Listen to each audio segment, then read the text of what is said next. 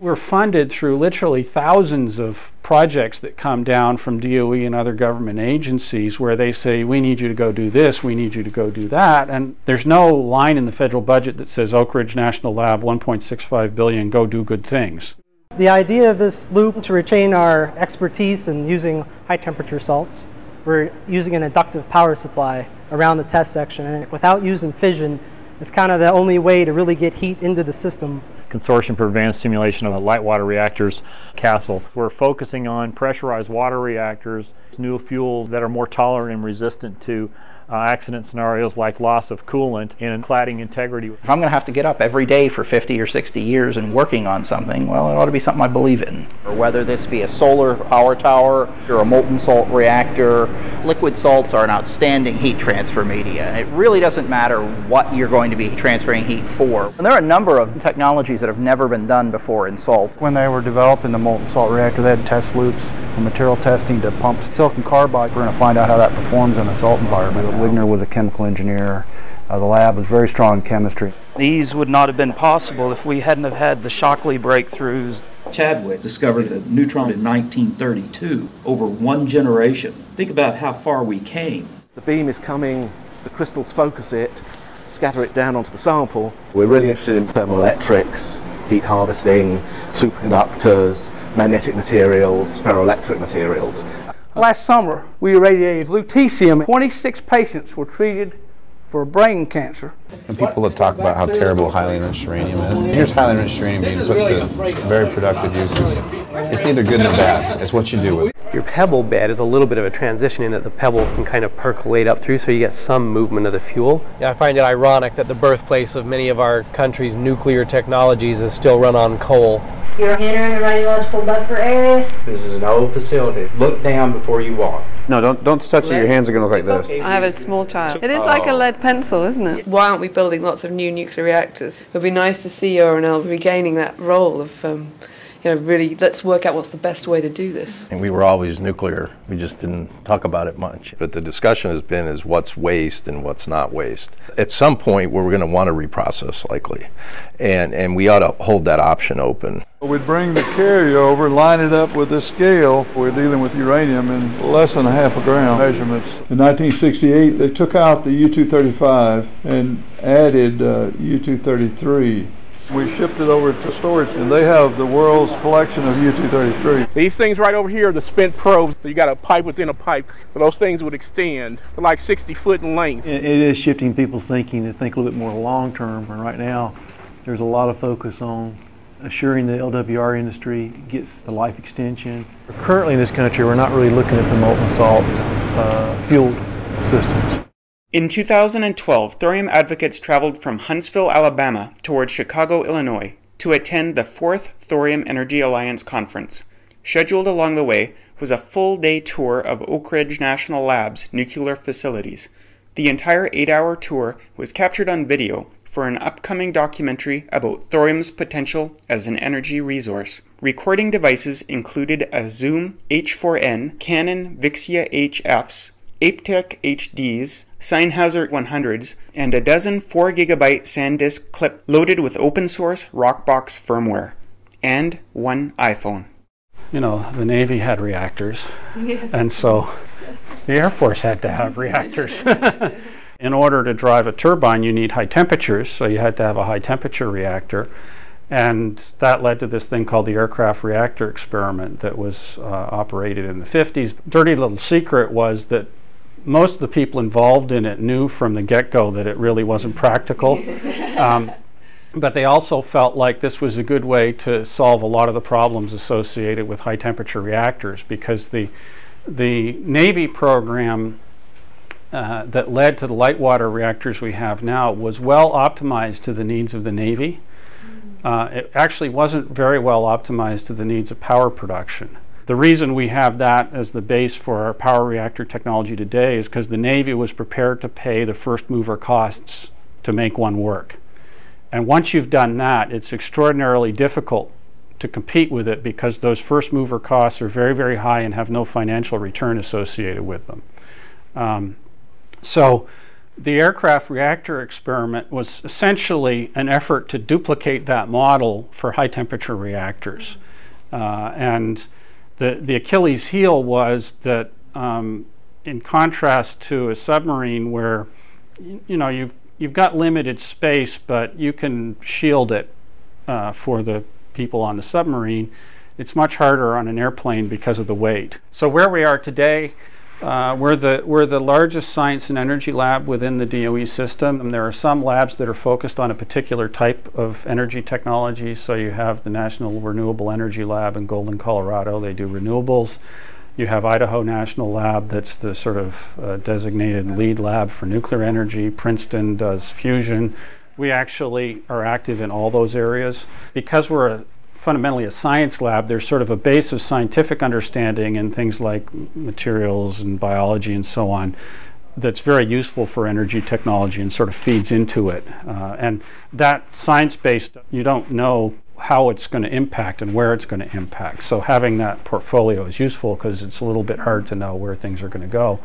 Uh, the other reason I think it's important is as we look at the energy problem, things you need to do to mitigate CO2 emissions it's actually pretty much rigorously true that there's no single point solution. You've got to make progress in all areas fairly significantly mm-hmm. in order to be able to do it. So that's that's why we're kind of pushing on all fronts. And often there can be synergies as well with regard to concentrated solar power and the thermal. Mm-hmm. They use salts to use as a coolant. So you know often there might be interesting synergies between. Yeah, and that's kind of what I mean when I say you don't know where things are going to go because you you know if you if you develop materials that perform better in extreme environments environments, they'll have multiple applications. And, and there are other sorts of synergies too in terms of the uh, roles that different forms of energy play in our supply and you know the, the fact that you, you need things to balance off intermittency of renewables and what does that mean in terms of transmission technology and you've really got to you know look at it in a fairly integrated sort of way. You involved now in the uh, Czech Republic? From the MSRE days, there's this coolant salt. It's used in the intermediate loop. You know, Kirk has probably told you all about. It. They're going to use it for experiments in the reactor and give us back information and data we can use. So. Do, will that mean you've depleted your reserve, or you still? No, no, we've got quite a bit more. I can't remember the amount. There was about five if I remember right, five drums. Four times 75 then times five times that, so it's yeah, about uh, about, about yeah, about a about a ton. It's very unique material though because it's lithium that's in it. Yeah, So I hadn't realized that the aqueous reactor was done here as well, and, and the fact that these were all liquid reactors. Does that have to do with the chemistry background of some of these? Yeah, yeah, so the lab was operated, you know, if you operated by a chemical engineering company, uh, and so that has a lot to do with. Wigner was a chemical engineer. Uh, the lab was very strong in chemistry, and so when DOE moved, they basically in 48 declared Argonne as the lead lab for for nuclear reactors. They they maintained Oak Ridge's chemical engineering expertise. Nuclear engineering has always made heavy use of computer modeling, but most of the tools we have now uh, were were developed actually a long time ago. Uh, they're written in in Fortran. For, yeah, Fortran 66 or you know maybe Fortran 77. I don't know. uh, and and so um, you know modernizing that I think will be valuable even even for new directions. For the nuclear industry, for the most part, I think it's fair to say they're really not interested in novel concepts. Uh, they have problems today that they want some help with, and and uh, uh, you know DOE is partly responsive to their needs. For ORNL, I mean, given your heritage and given your aims, which are you know they're broadly written and, and they give you a lot of scope. I mean, I'm I'm interested in how much sort of um, you can influence DOE. You know, going back yeah. up the chain. Mm. You know, we're designed to respond to the priorities that are set by the government. On the other hand, we have a lot of technical expertise that can influence those priorities, and so there's a you know there has to be kind of a dialogue that goes on. Uh, we don't have.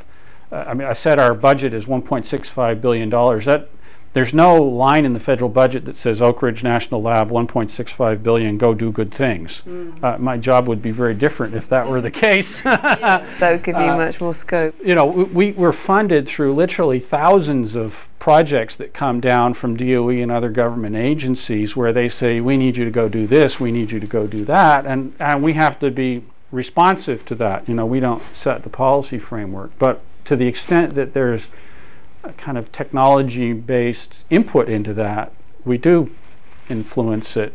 You know, through things like the advisory boards and uh, that, that DOE has, and, and National Academy studies and that sort of thing. We discover new things, Yeah. you know, our researchers come up with new ideas and those have to somehow be factored back into the, the future directions for the country. And that's one reason why we exist. Maybe we don't get directly funded for that, but it's a, it, we, we are to do those sorts of things. What could ORNL do to sort of like get us back to that sort of discussion about what's the, the step change in reactor design that will give us sort of safe, low waste? I mean, what's your personal thoughts on ORNL playing a, a greater role in in bringing uh, the molten salt reactors back to sort of just a you know modern day part of the modern day suite of solutions? Certainly in the U.S. right now, we are embarking on a fairly significant debate around the direction for nuclear driven by two things Fukushima, and also in our case, the, this uh, Blue Ribbon Commission that's been looking at the waste question, which is currently unresolved in a kind of spectacular way. I guess that's a fair way to describe it. Um, and and so uh, there there is a big discussion about you know what these two things mean, and there's some clear from from our point of view. I think there's some clear directions come out of it. For example, there's a lot of interest in um, what are variously called uh, accident tolerant fuels. You know what what can you do to fuel design that makes it uh, more robust in the event of, of some unforeseen accident and and uh, that you know gets back to the issue in Fukushima with the zircaloy where you go to elevated temperatures and you initiate this reaction that, that releases the hydrogen that led to the explosions and if you could have fuels that would uh, go to higher temperatures you would buy more time in your emergency response to restore uh, site power. Um, and some of those ideas actually come out of programs that were driven by novel reactor concepts. So one of them is that we've been involved in is this TRISO fuel, which is the silicon carbide encapsulated spheres that was driven, I guess, out of the pebble bed modular reactor concept. Well, that may also be a useful fuel design even for light water reactors in this sort of post-Fukushima environment. With the Blue Ribbon Commission report, we you know we thought that kind of if you look at the recommendations, they're really focused more on legislative things than technical solutions. It doesn't say a whole lot about technical. Um, though I would argue, you know, we probably pretty much have 90% of the technology uh, available, but the discussion has been is what's waste and what's not waste. And so what we've been trying to do is is get the discussion going in a different way, where it's not just sort of focused strictly on uh, sort of a narrow view around isotopics and is there fissile material that's useful to in, in the sort of the today economics, but kind of look at the bigger picture and say and change the discussion and say, you know, at some point we're going to want to reprocess likely, and and we ought to hold that option open. In the 40s and for much of the 50s, there were significantly lower estimates of uranium reserves than are known today. So they were very, very focused on the scarcity of fissile material. Mm-hmm. And in addition to that, they sort of knew that there was going to be a, a cold, well, they didn't know there was going to be a Cold War. They knew there was going to be some kind of confrontation with the Soviet Union after the war. So they felt like what U-235 was available was going to be, you know, taken by the military. So for mm-hmm. For peaceful nuclear power, they felt like there had to be alternatives, and that's why they were very interested in, in things like the thorium fuel cycle because they thought that might be a way that you could develop um, electrical power uh, without trying to compete for a, a share of the scarce uranium resource. Right now, it's still cheaper to dig it out of the ground and refine it than it is to reprocess it. So there's no, there's no economic real economic driver for a closed fuel cycle of any sort, whether it's you know thorium based or uranium plutonium based, because it's just cheaper to mine it. That situation won't continue forever, given global demand and finite resource. But that crunch is far enough out that it's very very difficult for governments to deal with. And so that's Yes, that, that may be true about the fuel cycle, but the two crunches you've mentioned, which Yeah. are safety, which has now taken a much higher priority, the inherent safety of the reactor design, and economic crunch, you know, because why aren't we building lots of new nuclear reactors? It's because they cost a lot, Yeah. and and so you know the, the the sort of challenge for the nuclear industry is to find something that sort of ticks as many boxes as possible. Perhaps the two primary ones being cost and safety. Yeah. And and I think you know you've got stuff that's happened here in the past that points in a direction that can answer those questions. Um, I'm just interested to see you know what it would take to kind of get back to those days where ORNL was building 13 test reactors. You know, it's that it's it's you know I know I'd, I probably will never go back to those days for lots of reasons, but it would be nice to sort of see ORNL regain, regaining that role of. Um, you know, really, let's work out what's the best way to do this. Well, and that's partly why we're trying to, you know, drive some of this discussion around the Blue Ribbon Commission and, and I, I personally think that it's it's an appropriate time for certainly for DOE to reevaluate its R&D thrust within nuclear energy and and uh, you know we have a structure now that was you know you could to some extent argue it was it was set up uh, for a world that doesn't quite exist anymore. There's, I guess it's about $785 million a year or something that DOE invests in the nuclear energy programs. And so, you know, that's a lot. It's not what it was back in the day in inflation adjusted to dollars, but it's still, uh, you can do a lot with it. And, and um, there's enough that's changed in terms of, you know, economic drivers, environmental drivers, safety drivers, and so forth. Now it's, you know, it's tricky to move any large uh, organic bureaucracy. But, you know, to the extent that the technology options can help inform that, that's something that we can sort of push. Yeah, and, I, and I guess I would say, you know, just to maybe to complete the discussion, the, the other piece that we haven't talked about that's important around the, the fuel cycle reactors and i- is just nuclear materials in general and the security aspects of that and what is an appropriate program in terms of of maintaining expertise and knowledge relative to nuclear materials. if you're in the nuclear game, you're going to have expertise that's relevant for for uh, you know proliferation. You can't completely decouple. Y- You know, you can never defend yourself from someone who's going to develop the technological capability, you know, over here, and then underground over there do something else using the expertise they have. But at least you can sort of make it so that it's hard to do them in the same place at the same time. Yeah. And I think that's true of more than just nuclear. I mean, chemical and biological weapons are also part of this equation, and often nuclear gets singled out as being the. But you know, you can do a lot of damage with lots of other industrial applications. Yeah, that in some cases are much cheaper, actually. Hello, David. Uh, David leads our salt-cooled reactor work, so he's going to talk about that. This is Kevin Robb. He's in our thermal hydraulics group. Nice to meet you. So he's helping with the, the design and, and analysis of our salt loop that David will show you here. Uh, basic message is that liquid salts are an outstanding heat transfer media. It really doesn't matter what you're going to be heat transferring heat for, whether this be a solar uh, power tower, uh, whether this be a salt-cooled reactor, a molten salt reactor. We are trying to demonstrate some of the core technologies you have to have to make liquid salts a standard heat transfer material. The idea of this loop to retain our expertise in using high temperature salts, to provide a platform for us to test different components, different reactor concepts. Above about 600 C, it becomes technologically very difficult to transfer heat effectively.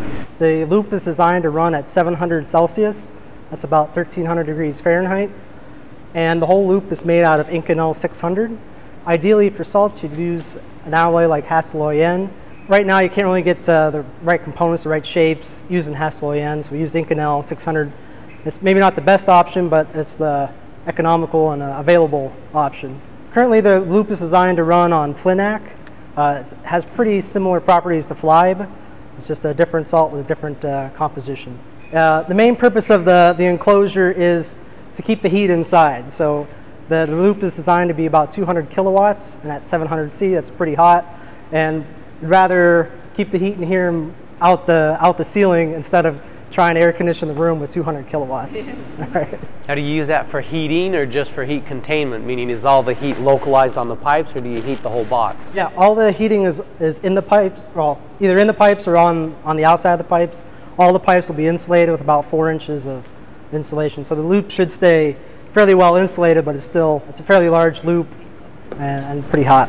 There will be a crucible here about six foot, so pretty big, a nickel. That's where we'll initially load the salt, pass hydrogen fluoride and hydrogen through it, and that will clean out the oxides and the different uh, contaminants inside the salt.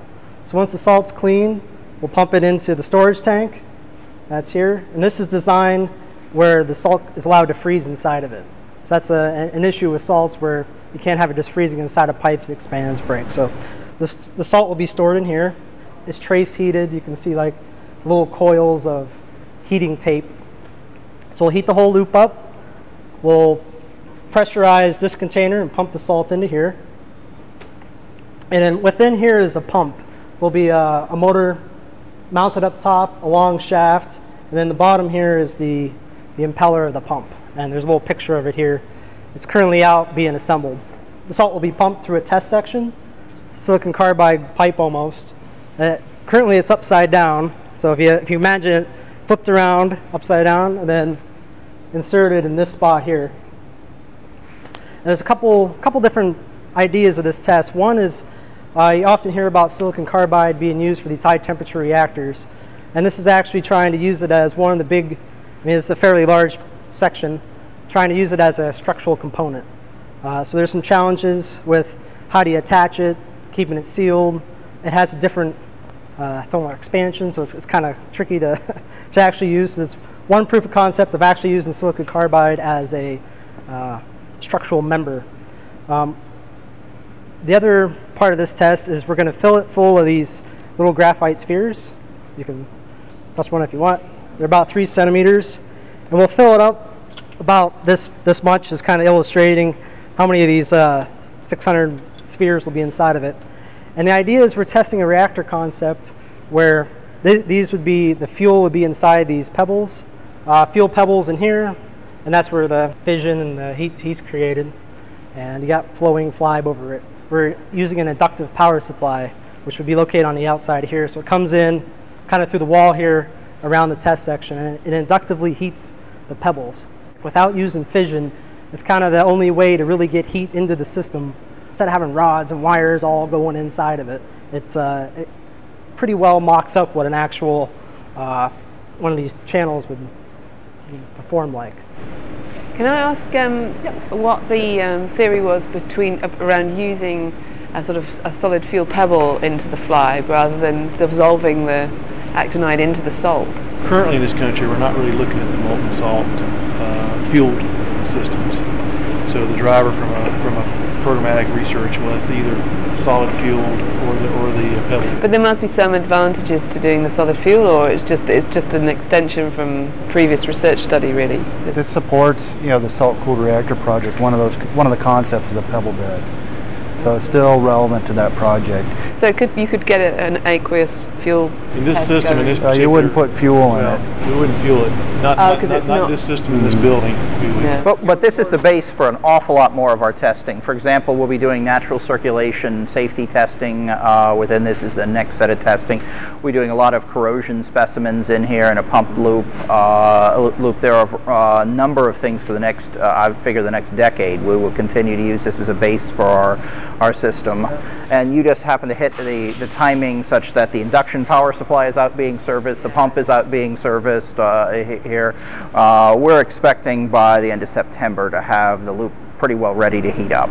So a lot of the applicability of, of the uh, molten salt fueled systems or can be tested also in this system. You know, back when they were developing the molten salt reactor, they had numerous numerous loops that were not fueled. Uh, these were range from natural circulation test loops, from material testing to pump systems like this. Ah, so, so, they're all all very relevant. Tools. Yeah. Mm -hmm silicon carbide, even though we're using that as part of the design, that's part of the test. We're going to find out how that performs in a salt environment now. Mm. No, and there are a number of, of tech, technologies that have never been done before in salt in here. That rotating flange up there to allow things to shift between there, the, the fact that we've got ceramic and metal pieces all in a single loop, the joints, which are the nickel uh, carbon based joints, so we can actually use gasketed seals. Most of the technologies that for a molten salt reactor in the, as far as the thermohydraulics, well, they're identical. If you want to use the salt as a coolant, it's just much, much, much easier to do something that's non-radioactive uh, on this. So that's why we have the walk before you fly, uh, fly uh, in here. That that these may be a, quite a good good way of starting, which is why the Chinese are also starting with the uh, saying that you go, use a solid fuel system before you go to a liquid fuel system. this one does uh, flow. So as the salt flows through it, um, it actually sends sound waves through. So there will be a piece of electronics here and here sends a sound wave through, and then uh, depending how fast the salt's flowing through it, Yeah. it kind of like the car going by and it makes yeah. a different sound. Yeah, yeah, Doppler it's like a effect. There you go. And that it measures the Doppler shift. Kevin mentioned the fluidic diodes. Uh, what you going to Yep. do with that? Uh, so these are fluidic diodes, and basically, simply put, it's a way to control a liquid flow without using like a valve.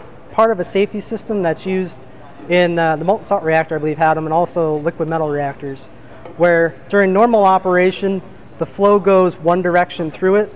So it would flow, in normal operation, it goes this way, it comes in this side and out this side, and that creates a lot of uh, resistance. It spins around and comes out. During an accident, the flow reverses and goes this way, and there's not a lot of resistance going from here just flowing out here because it doesn't spin around. So that's the after the particle bed uh, concept test. That's the next set of tests is to test this idea for the safety system. Then there's a heat exchanger. That's another part of the test. Look, salt goes so you add the heat over there. You remove it here. There's a big. You can see the ducts. Air flows through it, cools it down, and it goes back. And so here is some of just FLiNaK. This is what fluoride salts. FLiBe actually looks almost identical to this. If you go ahead and you do and you repeat doing things in here, you can see you start you can see it starts to etch the glass just a little bit. Well, etching the glass is uh, a matter of that you've set it into Tennessee moisture, and the t- and that means that well it starts to etch quartz uh, on there because quartz is an oxide. Now, fluorine is more electronegative than oxygen, so it would seem that lithium fluoride would be the preferred chemical form rather than like lithium oxide. Is that the case? you will have a you will get a you will get an equilibrium distribution you provide oxygen uh, to this and you because remember this is a solution and when it's in a solution you'll have some uh, oxygen and some fluorine both of them into solution. And you would like to keep, keep this thing as bound as possible. And as a matter of fact you want to keep one of the things that keeps FLiBe from being even as corrosive as FLiNaK is it forms complexes in there. And oxygen will certainly interfere with its ability of forming complexes. The favorable chemical form is still the fluoride. if you've ever gone ahead and had to remove uh, the rust from your bumper uh, on there, fluorines are really good at uh, getting rid of the uh, getting rid of the that uh, that chrome oxide. As you can, uh, and that's just it's a very effective technique. The, uh, that says corrosion in a fluorine salt is, is a very simple uh, process, or at least comparatively simple. If you can keep it in the neutral state, and then remember all the metals in their deposited form are in their most reduced state. So what we have to do in, the in a reactor is keep things very highly reducing. Uh, that's much like in the uh, molten salt reactor experiment. They use the ratio of uranium-3 to uranium-4 as a means to control uh, the redox potential, which went ahead and shifted the and uh, changed the and, and was just a simple way of con- controlling the corrosion. Uh, we can also just put direct contact with the beryllium metal. If you put extra beryllium in there, there'll be a little bit more beryllium than there is fluorine on uh, here, and that will mean uh, if there's a free fluorine atom, essentially giving you a preferred spot to rust. And so this is all about controlling the potential corrosion of the salts within its it, within any vessel that you put it in. Yep, and, and also because things like heat exchanger tubings are very thin walled, and if you don't prevent the corrosion, you get things like uh, the, the the iron out of the in the, some of the the alloys is more soluble at higher temperatures, and so you will get your heat exchanger where it's at hot temperatures. You will get uh, some of the metals taken out of solution, and then in about uh, as it gets to the colder end, uh, and it'll redeposit, and so you can self-plug your heat exchangers, uh, which you would very much like not to do. And your your technique to avoid that is to go ahead and keep everything in uh, I think very well reduced, so it doesn't corrode in the first place.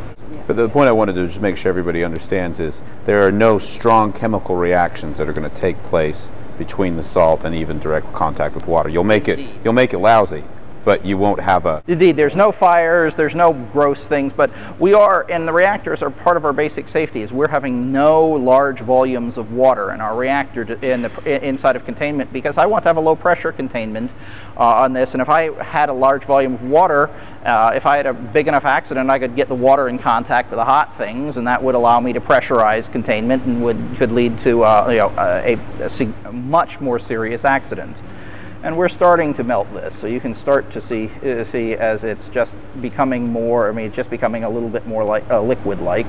Kind of get slushy. Yeah, slushy. Give it about uh, once it gets started, it only takes about a minute to go ahead and and liquefy. This the melt point of this is 454. Uh, melt point of FLiBe is 459. So they're very similar salts. That's why you, you yeah Celsius. Do you have any thorium samples here in the lab? Oh, there are a number of thorium samples around. The big issue is that if you haven't freshly separated the thorium, uh, it develops daughter products on there and it starts being something you don't want to hand around. The best way of getting thorium, frankly, is go down to the beach in Florida and just dig some sand. The, thor the, uh, the, the monazite sands are all over. Matter of fact, we use some of the monazite sands, which are in secular, secular equilibrium, as a, uh, as a radioactivity standard. Uh, uh the standard. So they they are. So thorium, when it's Thorium itself has, you know, has very little going out, but in not too many years afterwards, it's built in its daughter products, and the daughter products have have as, you know significant radioactivity signatures. So we try not to hand those around to the uh, around to the guests uh, on there.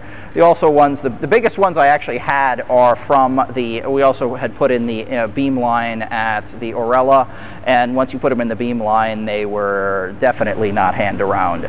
You can sort of see it looks like liquid. It's still kind of cloudy. We got to wait wait another minute or two for it to clear out. Uh, out. But basically, it's water. The viscosity on it is 30 times larger, but water is very low viscosity. So it's still a very low viscosity fluid. It's interesting because I think some people might imagine this is quite a gloopy or kind of slow-moving liquid, but it's actually quite fluid. It does go through a melt much like a glass as opposed to water, which doesn't quite do that. So we do, don't want to run the reactor, you know, at 460 C because you're right, it's kind of tar-like uh, on here. So we want to run it a couple of hundred or 100 C or so above uh, this, and I would like to even, in, in, all cases, have it at least 50 C, so it does flow nicely.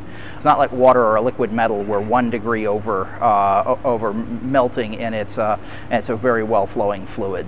And we're not losing anything through volatility right now. Anything is, is in science terms is tough to say. There are a few atoms that are coming off of this, but it, both it's not toxic and uh, yeah. No, sodium you can hand around, but you certainly would not like to go ahead and heat it up in air uh, like this. This would not be a good idea. And you can see it just moves just like water. I say the hazards on this is the same thing as you have hazards on a deep fat fryer, which is why we don't, in case I trip, throwing hot oil or hot salt in this case on visitors would be considered a bad thing uh, here. But there's nothing else uh, else to this uh, as there. It just makes a nice little clear liquid. But I'll just go ahead pour this out into a little stainless steel crucible and you could hear that little snap there was just there was a little bit of moisture at the bottom of the uh, stainless steel there and it just is resolidifying, uh, solidifying here. I mean, at 450, I mean, this thing is a solid. So it doesn't take very long for it to form the, the, the, a solid again. Isn't that a nice feature? Just it's literally difficult in the uh, in a reactor to actually have a loss of coolant accident. Even you know, what's one of our issues about designing it so we can pump it out if we ever wanted to, is that it solidifies and oh, you know, it gets too inert too quickly. It just forms a plug, and well, you can't drain it anymore because it made a plug. But now in the scenario of a leak, if you had this leak out into say a containment room, a containment vessel, at you know the containment vessel is at room temperature, and the salt's coming out at you know, 700 C. It's going to depend on the volume of the mass that comes out. We have designed in our system a guard vessel on here, which is just a stainless steel, half inch thick stainless steel vessel. Um, we don't know if you had a major rupture on this, you know, it's a huge crack across thing, even worst case, which you, of course, you know, thanks to the boiler and pressure vessel code and there are people in the 1910s who died from all this. Well, no one's ever had one of the, these types of things, but even if you did, it would just uh, go into the next level, uh, guard vessel and sit there. Uh, but if you had a little crack on this and it was sort of it was starting to weep, it forms a plug. and it'll just form a plug. Self-plugging. It's self-plug.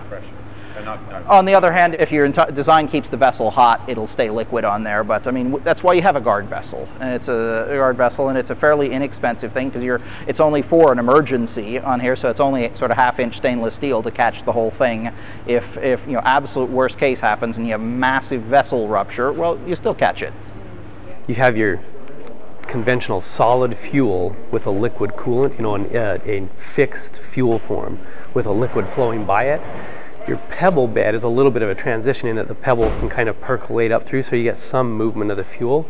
Then your next step is a slurry where you've got smaller particulate moving with the flow.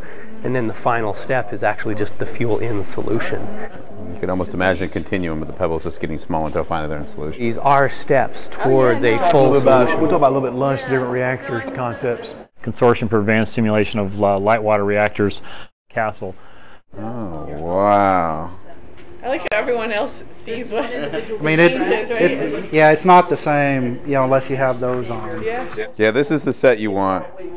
And So you're walking, so you could have a molten salt reactor that you could walk around on. Not only are we modeling reactors on computers, but we've been, been in fact by DOE said you must select and model physical reactors, show that it's relevant to actual operating reactors, not not a not a design that isn't operating yet. Oh, this is so cool. You guys have got to try this. Oh goodness, that makes you feel really weird. There's something in front of me here. It feels like. We're focusing on pressurized water reactors in the core of a pressurized water reactor, and that's about 60% of the U.S. fleet. Uh, but in general, the simulation technology we're putting together uh, will be, we expect it to be broadly applicable to a large class of reactors. The, the reason to focus on PWRs now is um, we've got an existing fleet out there with lots of data, and we can, we can really uh, execute a proof of principle uh, in comparing with existing reactors, but also they have some challenges moving forward that, uh, that we feel like we want to want to help them with. So what are the problems that uh, current reactors are facing that you're trying to solve? Advanced fuels, new fuels that are less, uh, that are more tolerant and resistant to uh, accident scenarios like loss of coolant, and in this case, uh, cladding integrity. This calculation here is looking at a fuel pellet that might have a chip in it, and what would happen is that you operate with a chip in a fuel pellet, what would happen to the cladding and the stress on the cladding. This actually shows what holds the fuel rod steady. If you get a gap in here, the rod can vibrate and wear a hole. Could you talk a little bit uh, for our guests' benefit about the versatility of this with regards to other reactor types, particularly like MSRs? I want to claim that at least 80% of what we have done within VERA is applicable to um, almost any reactor. So if you go to MSRs or, or BWRs, you've got to worry about a different type of coolant and different geometries, but you still have neutrons, you still have heat transfer, you still have structural mechanics and all that base technology. The current tools that are used do homogenize things, and that's they're able to do that because a lot of very bright people figured out the physics and able to come up with simplified models. That was necessary because computer power didn't exist to do things like what we're doing now. In fact, the computer power now is just becoming online, and with with Jaguar and Titan 30 petaflops up to exaflop, we're getting to where we don't actually have to do the homogenization step. What's the main advantage to 3D modeling over cross-section modeling? What they actually do is they model a full assembly as a, as a single node, or actually it's a quarter assembly. Uh, so at the core level, they are not modeling all the detailed rods. Those are done in a pre-processing step that you model all the rods, you homogenize it, put it in a 3D model that models part of the fuel assembly as a homogeneous piece. So you get basically one, one number for a quarter of this assembly, and then you have to construct out of that the detailed rod distribution. And, the, and where that becomes important, you can look at some of these assemblies like this one. It has hot rods here and, and sort of nominal rods here. You like to be able to pick up that direct interaction between these assemblies in a 3D calculation. So there's some physics that we're picking up directly in our 3D model that in current methods are actually picked up you know, in a pre-processing step and reconstructed. So how do you know this is right? Right. So you're modeling a, a physical system. So reason we're picking physical reactors because they actually do some measurements in the plant. So these white areas are control rod guide tubes, and the center one of these is called an instrument tube, and they can run an, uh, a uh, fission detector down that instrument tube and get an axial power distribution. So we can compare that, and for the assemblies that they do those measurements on, we can compare overall um, power of the assemblies. For the detailed power of the individual rods, we have to go to, to very dedicated experiments called critical experiments where they actually do rod rod by rod power measurement. So we have to use data like that to put together to come up with a, oh, thank you, come up with a, uh validation case uh, for this. Are there any additional modules required to do a fully homogeneous liquid fuel form reactor with CASL? Yeah, you'll need a, you'll need the chemical processing module if you want to do that. We've got the physics, we, radiation transport, fluid flow. A lot of it is infrastructure as far as, uh, and we're going through a lot of that now even for LWRs. How do you specify the geometry? How do you specify the flow? How do you tell it at what rate to process the, the fuel? Things like that. But the fundamental aspects are there. The physics is there. This uh, timeline dates from maybe 10 years ago now when the when people were talking about what's beyond generation 3 plus and, and the idea was generation 4 and here's some of the attributes. Economical enhanced safety minimizing waste and proliferation resistance. So that was the reactor picture. And if we look at what we're we built and what we're building right now what's happened to the size of the reactors over time this is a plot for every reactor built in the United States. Its power level over time. First reactor Shippingport you can see here was was uh, I think it was like 60 megawatts if I remember right. And they they sort of hovered around the 200 megawatt level and then they started scaling up. You know there's a principle the economics of scaling versus power level and size. The last plant that went online in the United States is right here Watts Bar. These would all be considered large plants. These would be considered small size. You can see we really didn't focus on building anything small after the 1970s because we wanted to improve the economics of nuclear power.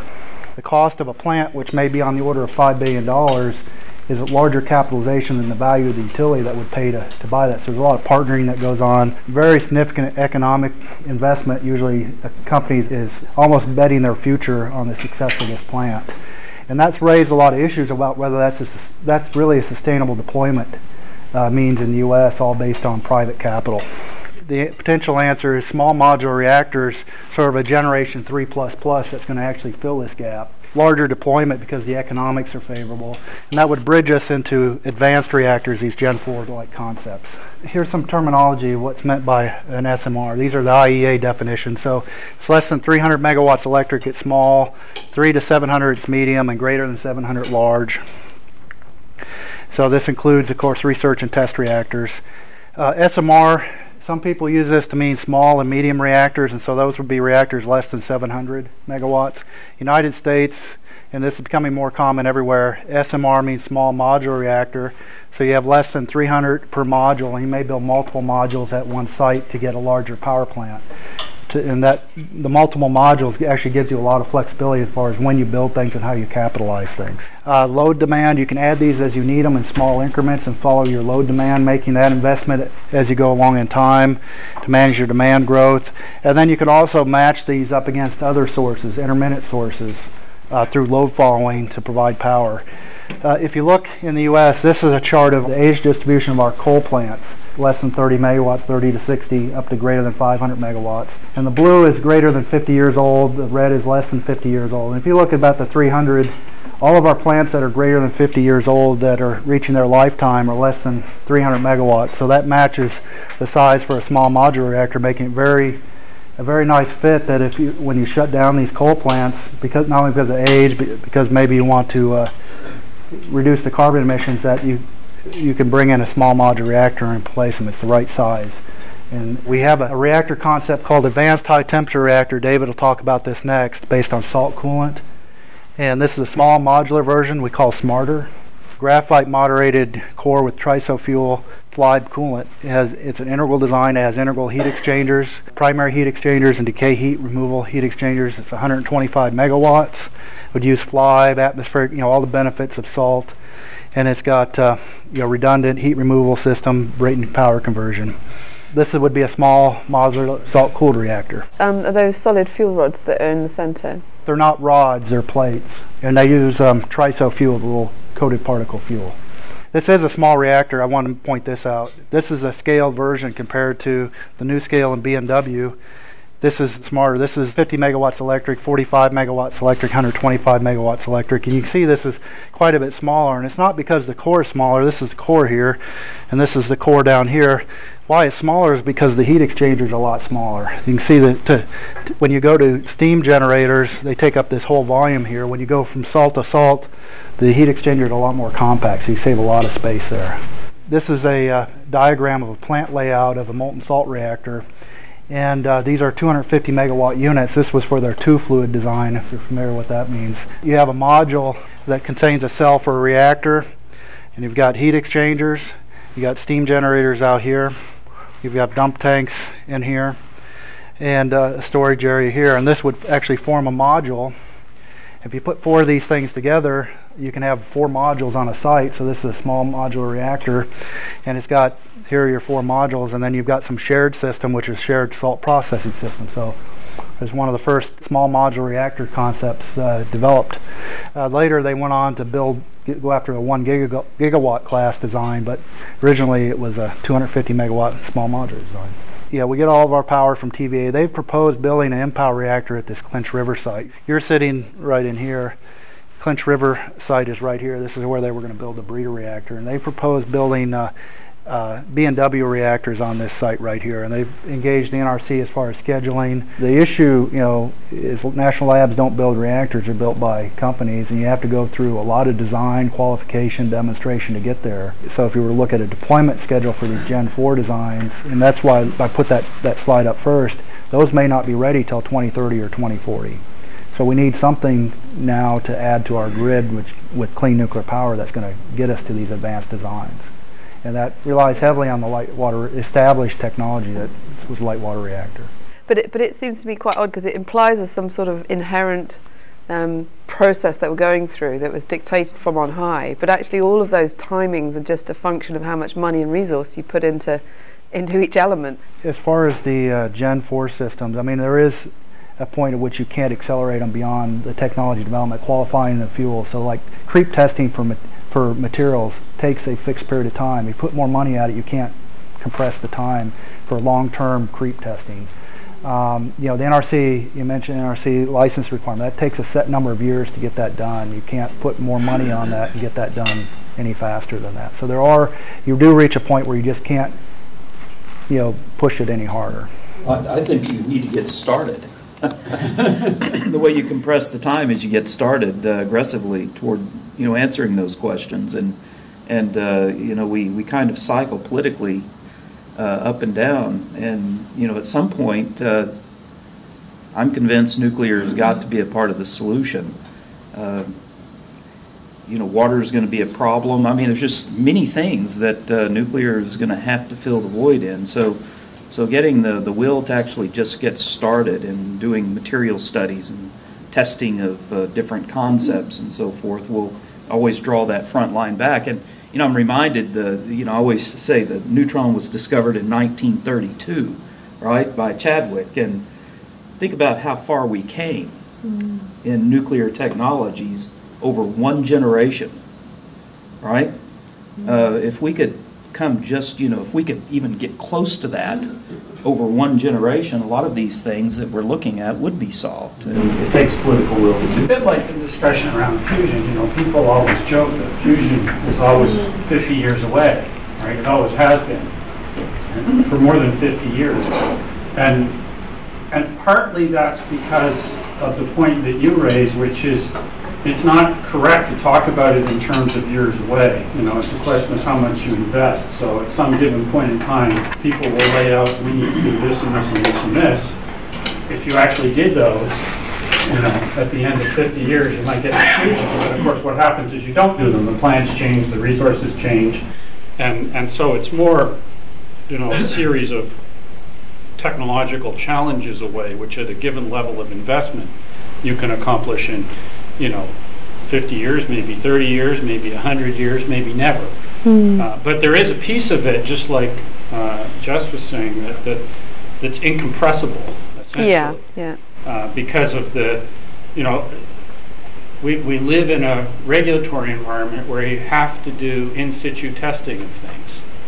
And that's got a cycle associated with it because you've got to do the test and then you've got to wait for things to cool down and you've got to do an examination. You've got to make a decision based on what you learned for the next test. And, you know, that's got an in, intrinsic time scale to it that more resources don't overcome. Now, there are other parts of it that are absolutely resource limited Mm. and you could go at more aggressively. Mm. And, you know, the trick is to not, not get out in front of it. You know, what Mm. you wouldn't want to do is throw resources at the problem faster than, you know, the intrinsic time limit because, you know, in the end you'd squander a bunch of money. But you could also, you know, spend a lot of money and never get there if you, if you bring it down too low. Mm. Looking at building projects, right, with, with ITER, we could, the US is responsible for the US contribution to ITER. We could spend hundred million dollars a year and never do it. Mm. Uh, You know, you've got to ramp it up to Mm. $300 million or something in order to just be able to get over the hump of getting it done. You know, the other the other thing, if you look in the U.S. and you go back 10 years on nuclear power, everybody basically thought we're going to shut down the plants, we're going to put the fuel in Yucca Mountain and move on to other things. That's totally different now. And uh, as far as where we are and looking the future, change, you know, five, you know, a gradual change over 10 years to where it back again into our future. And in some ways things are accelerating, in some ways they're not. You have other other events that happen. You got Fukushima, you have economy downturn, you have a number of things that this all fits together. Two dollar a thousand BTU. Yeah, that's a huge Yeah, that impact. thing, yeah, and those are not in our control. The other thing is, you know, things went very fast in the 40s and 50s, not only because of the regulatory environment, because, but also because they were not developing commercial nuclear power. They're de- developing it. Just get a reactor up, show that it works, do experiments.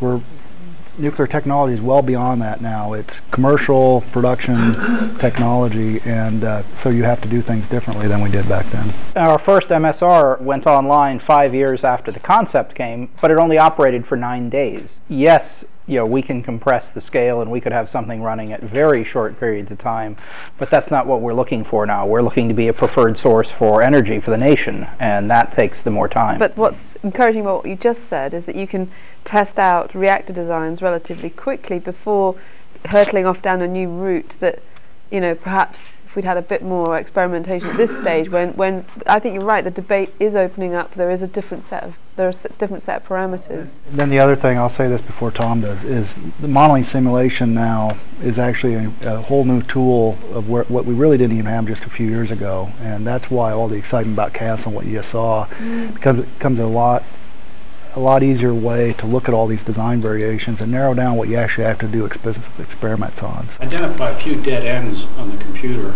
Yeah. You'll still have to do the testing, you'll still have to do the prototyping. It doesn't replace it completely, but it mm-hmm. can hopefully, you know, narrow down the possibilities so that the resource demands aren't so high.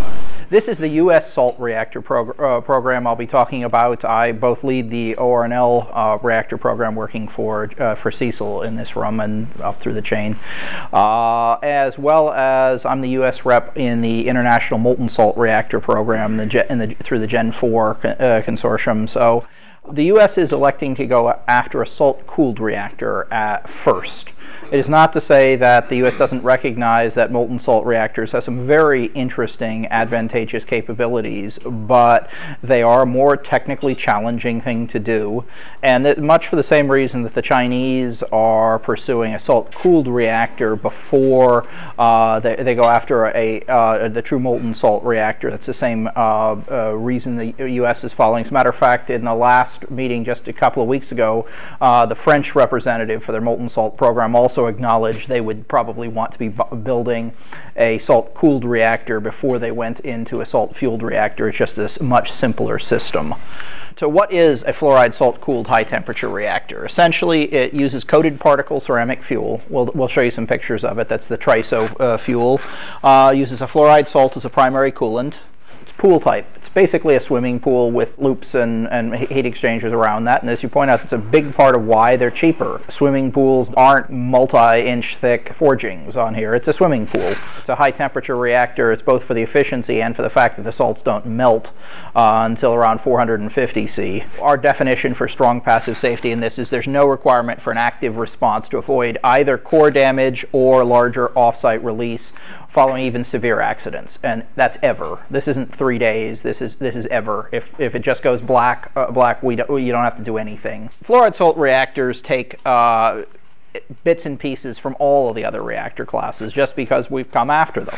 Whether it's the molten salt reactors where you learn things about the fluoride salt coolants, we've got a, uh, the same structural alloys, the hydraulic components, things like pumps, pipes, valves, while we would want very much to advance them from where they were in the 1960s, there'll be an identical transfer. TRISO fuel, the gas cooled reactors, the structural ceramics, it's a high temperature reactor. We look very much like that.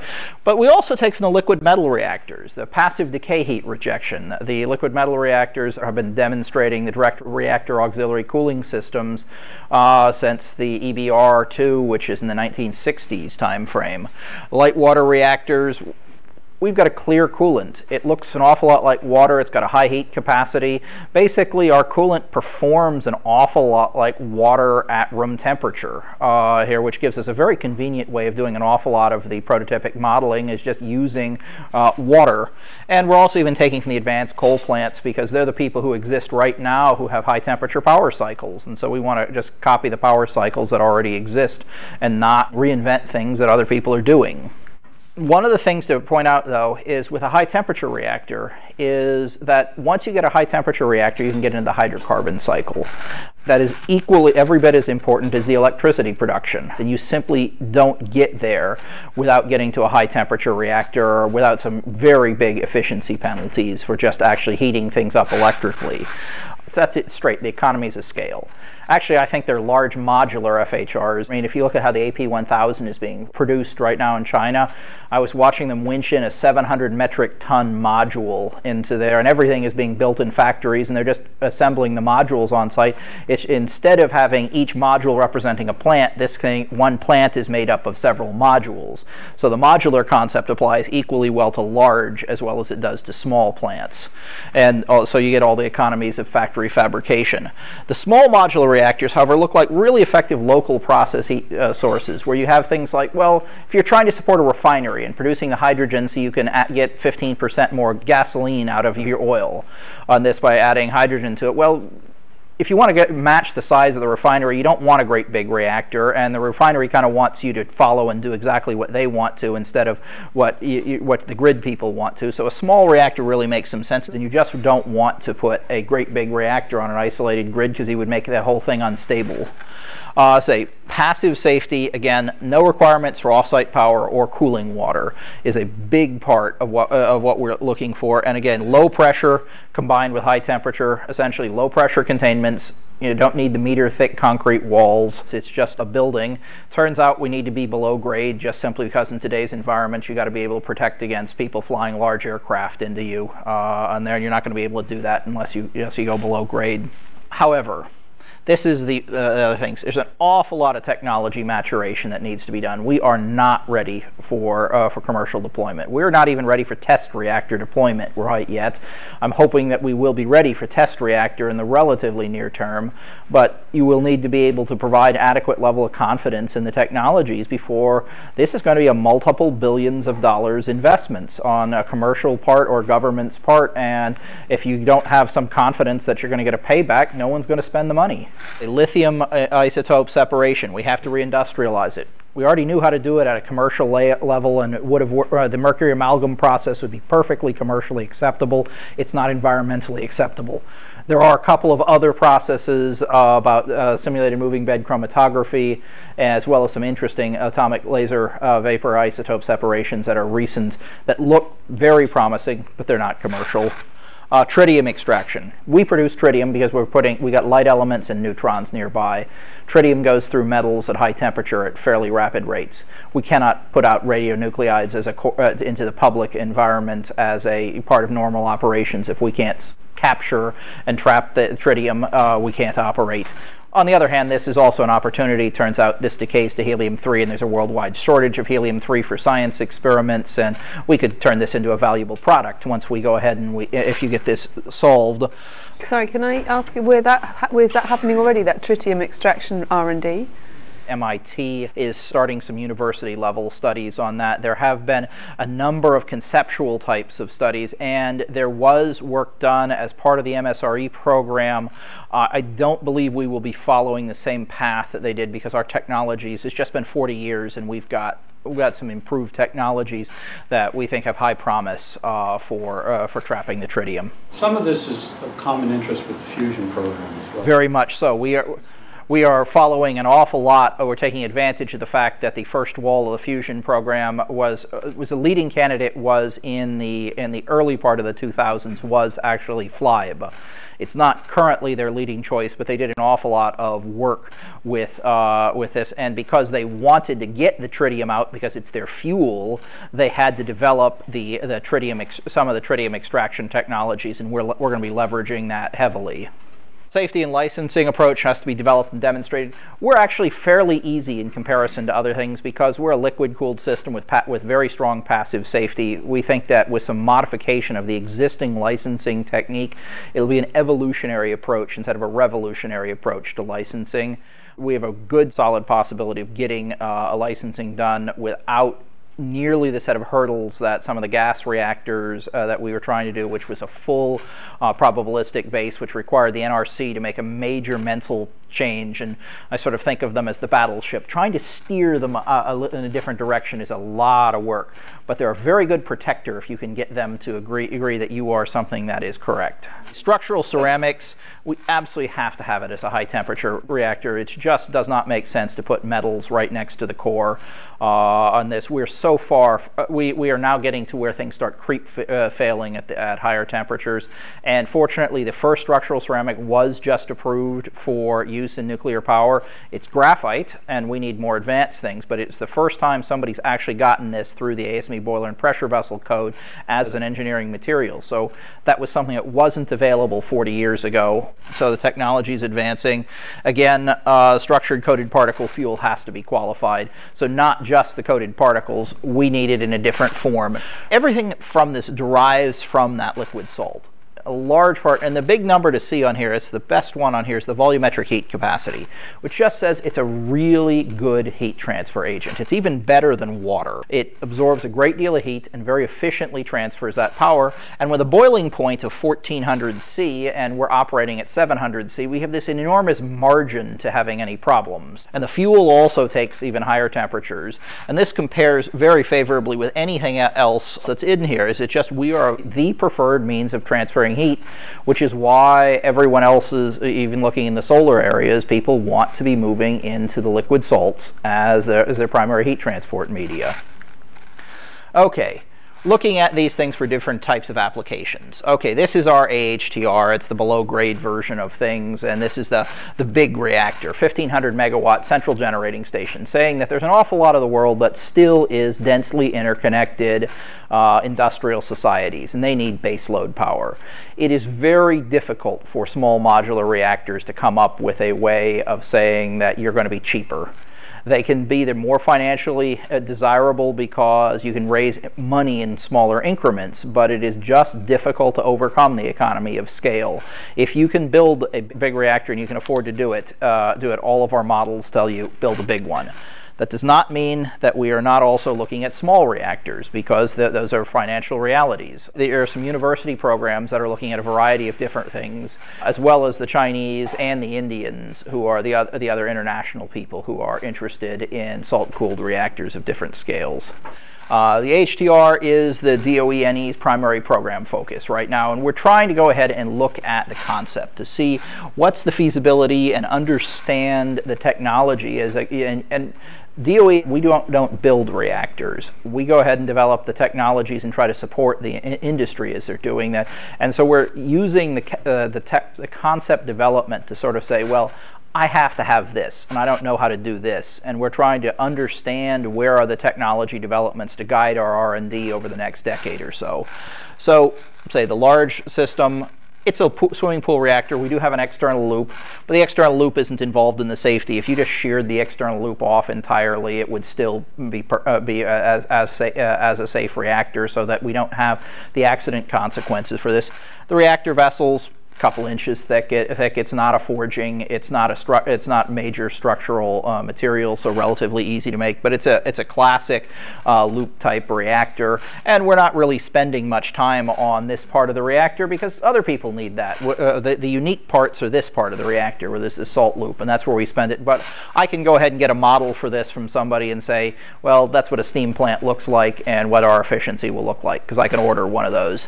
Say 3,400 megawatt thermal, 1,500 megawatt electric. It's quite conservative in there. We're only going for a 45% efficiency. Other people have exotic power cycles hooked to those that can give you a, a much higher efficiency. But we're again, that's not what we're emphasizing. Say 50 degrees C across the core much like a light water reactor. Uh, three loops, uh, primary coolants, FLiBe, uh, the uranium oxycarbide variant of TRISO, 9% enrichment. We're sticking with 9% because we think we can probably get our current uh, enrichment uh, plants to be able to provide us uh, that, and so we don't have to pay for people to build new enrichment facilities. So, do any of these concepts address uh, the turn down, being able to do turn down effectively? That was always, if you look at the controls, they were always designed uh, with potential for load following. Matter of fact, you can load follow with today's reactors. The issue comes out to be, and no one wants to load follow with your low cost systems nuclear power plants tend to be very expensive to build and to maintain and to regulate, but they tend to be very inexpensive to operate, uh, which means that once you have one operating, uh, people want to keep them operating. And so that has not been a major focus of, of these programs, but we did have, have a variety of grid appropriate reactors uh, thing programs about three or four years ago when we were looking at how do you support grid stability. One of the um, interests on the part of uh, in the military world is having you know very small, um, you know, talking even like 10 megawatts. And see, in those markets, they don't have as much, they aren't driven by the economics as much. And again, when we get to a certain amount, I'll tell you your best way of doing some of these things is, ma- is make diesel fuel using your reactor and run your and use your diesel fuel. Small modular reactors, we are very interested in a transportable uh, uh, size of these for some of the things like supporting individual refineries or remote power operations.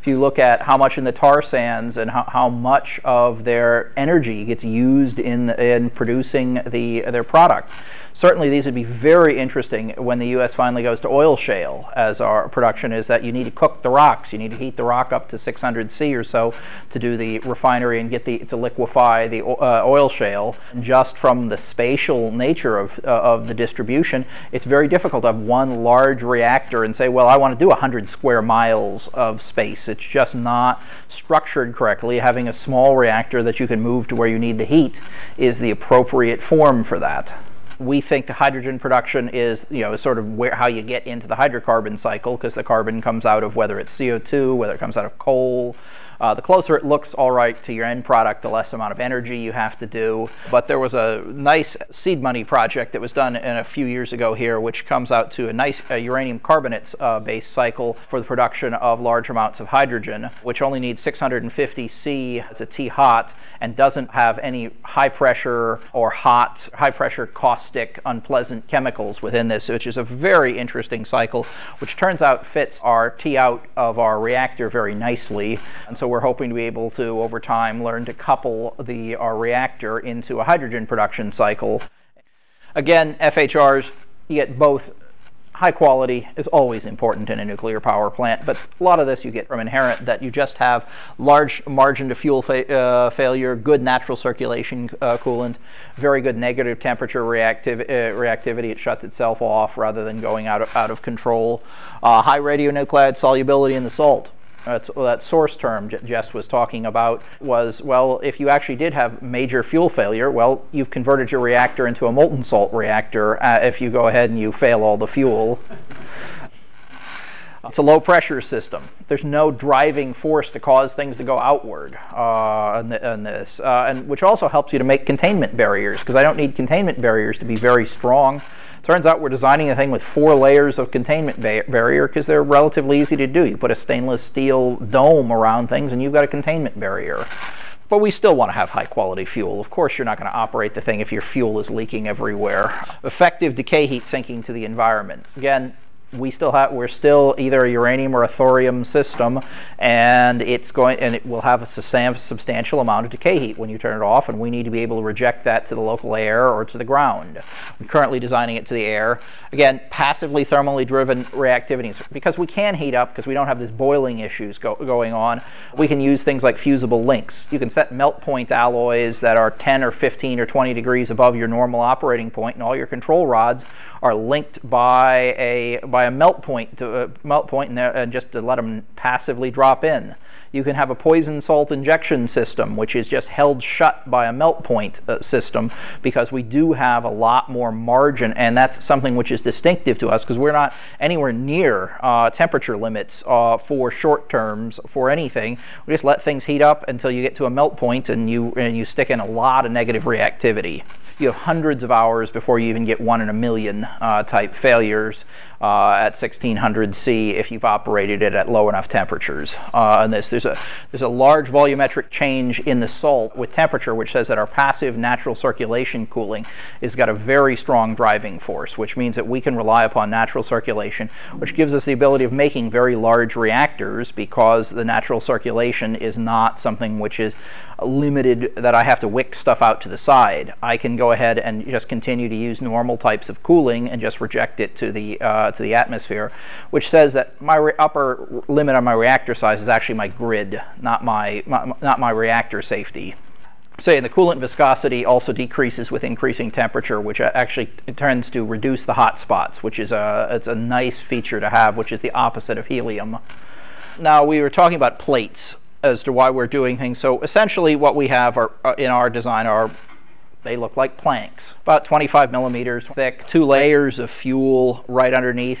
Uh, the reason we have these layers is because our method of rejecting heat is into the coolant. We don't want to wick things out through the walls. We want to reject it into the coolant because the natural circulation is the means by which we reject the heat, which says that we put the fuel as close as we can into the coolant.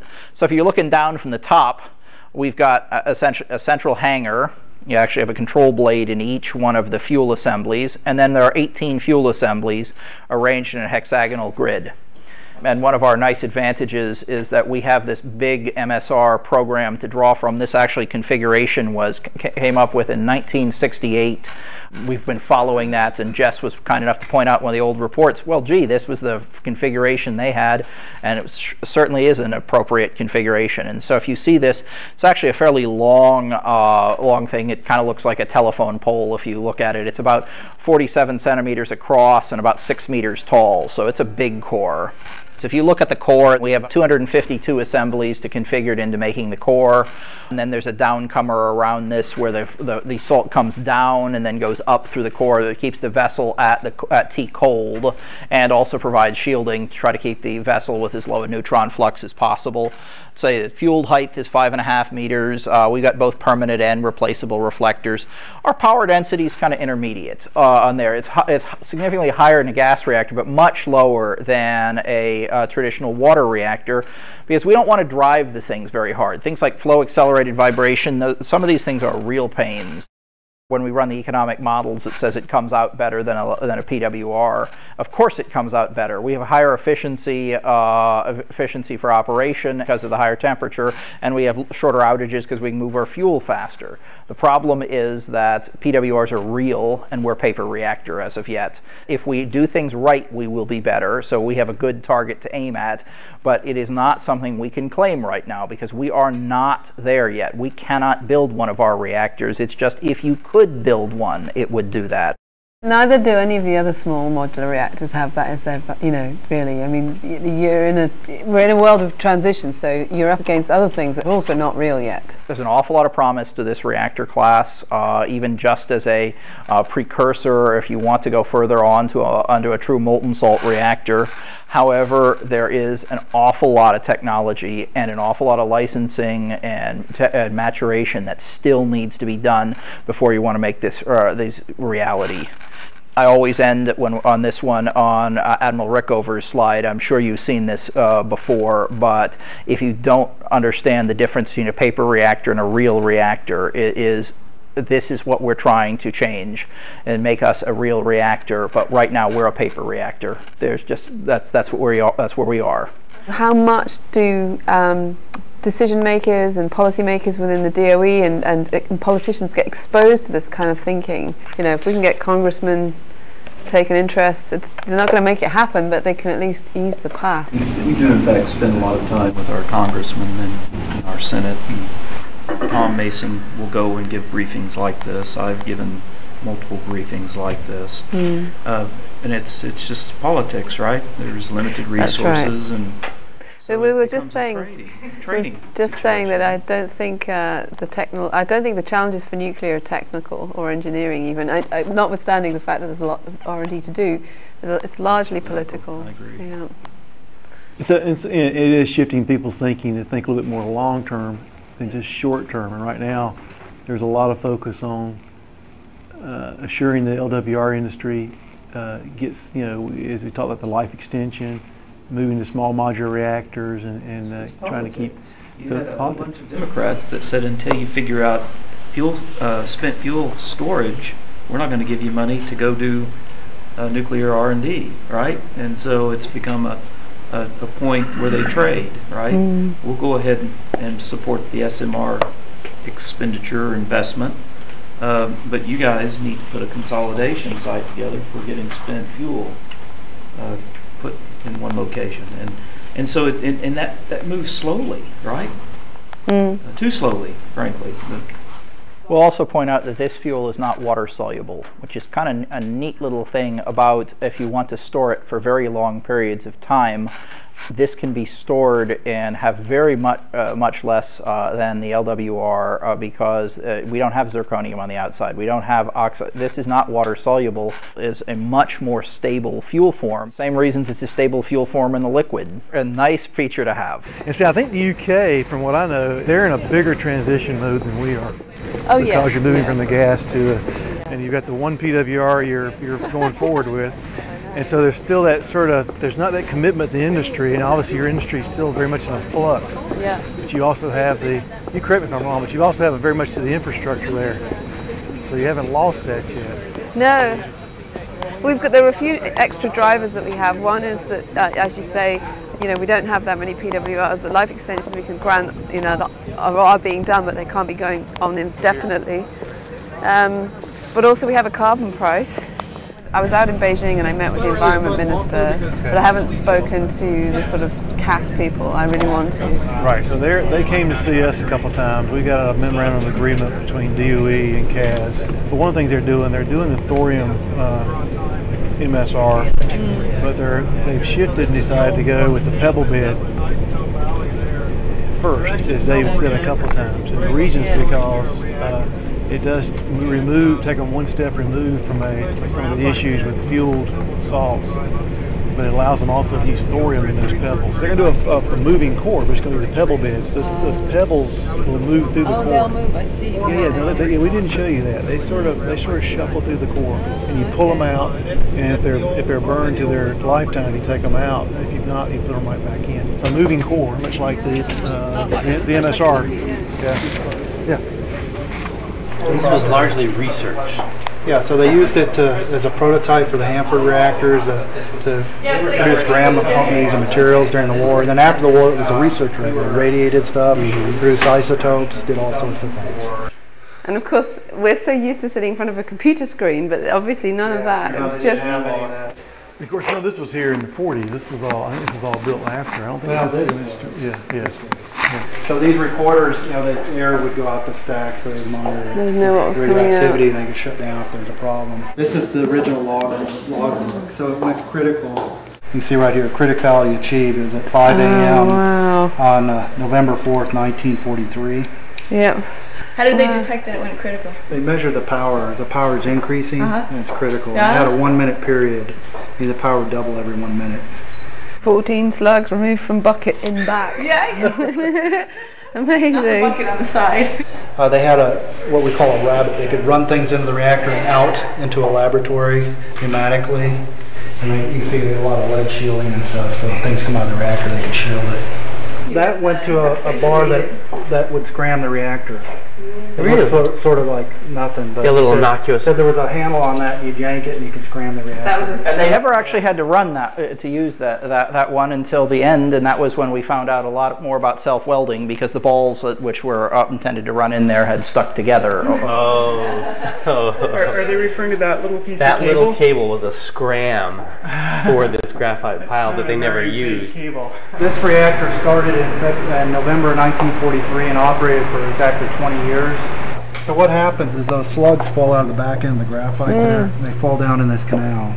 And then they, they take them over to the next building, which is the, the processing facility. Yeah, So that's how they get them there. They just, so you push a slug through, a slug falls out down into there, into water canal. And you'll notice this is at the top of the hill because a series of processes, everything was done gravity fed. And so the tank farm, which is the eventual waste, and the ponds are at the bottom of the hill, hill and this whole, everything was just started as a gravity fed system. Amazing. Very. Now, a the lot other, of foresight. The other thing to note here is these two devices here don't look special, but they're actually filled with sand. And if there's an issue with loss of power and they need to put the control rod drives in, which are right right here on that side of the reactor, Mhm. they don't need electrical power. So so this was designed from the beginning to function in a loss of power situation, be able to put the control rods in. So it had a lot of lot of you know design features in it that that uh, you might not expect in the first reactor. So this is pretty much a solid block of concrete with the pile in the in the So middle. in the center, there's a 24 foot by 24 foot by 24 foot cube of graphite with holes in it, basically. This was the first reactor to generate electricity. They put a, uh copper tube in the reactor, boiled water, and lit a light bulb. That was a high school science kit. This happened in 1948. So EBR2 generated electricity in 1951. Uh, this was three years earlier. Well, it's funny, you know, I know you're a real materials guy. Um, you know, we're doing design work and so forth, but most of what we're doing has to do with materials and supply chain. I mean, that is, that's 70% of what we work on. Oh, materials is, I mean, what is, uh, the, the saying is that he who controls materials controls the world on, the, on there. I can believe that.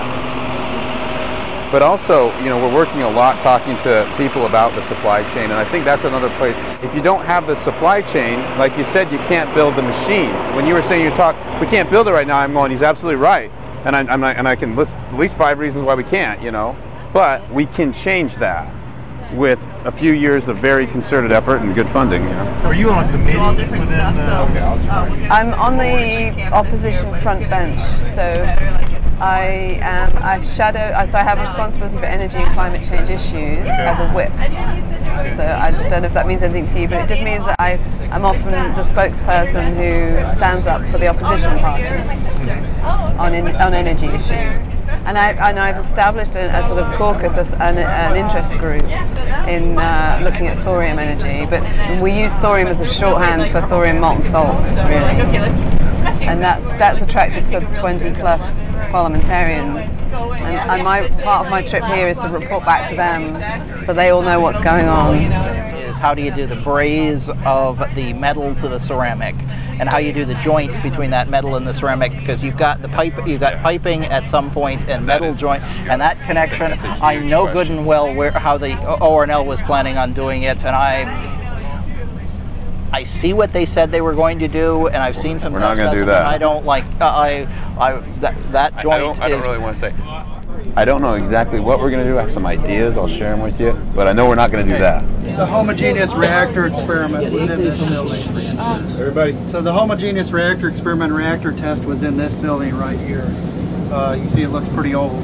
They built the HRE in here and then they, after they operated that, they, they had to bi- dig a big hole in this building and then they built the HRT. And that reactor was an aqueous solution of uranium nitrate.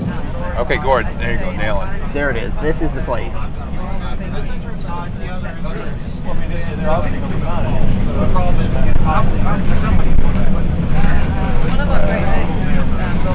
are going to be escorted into the hot body. You will not have unescorted access anywhere out there. You're only entering the radiological buffer area.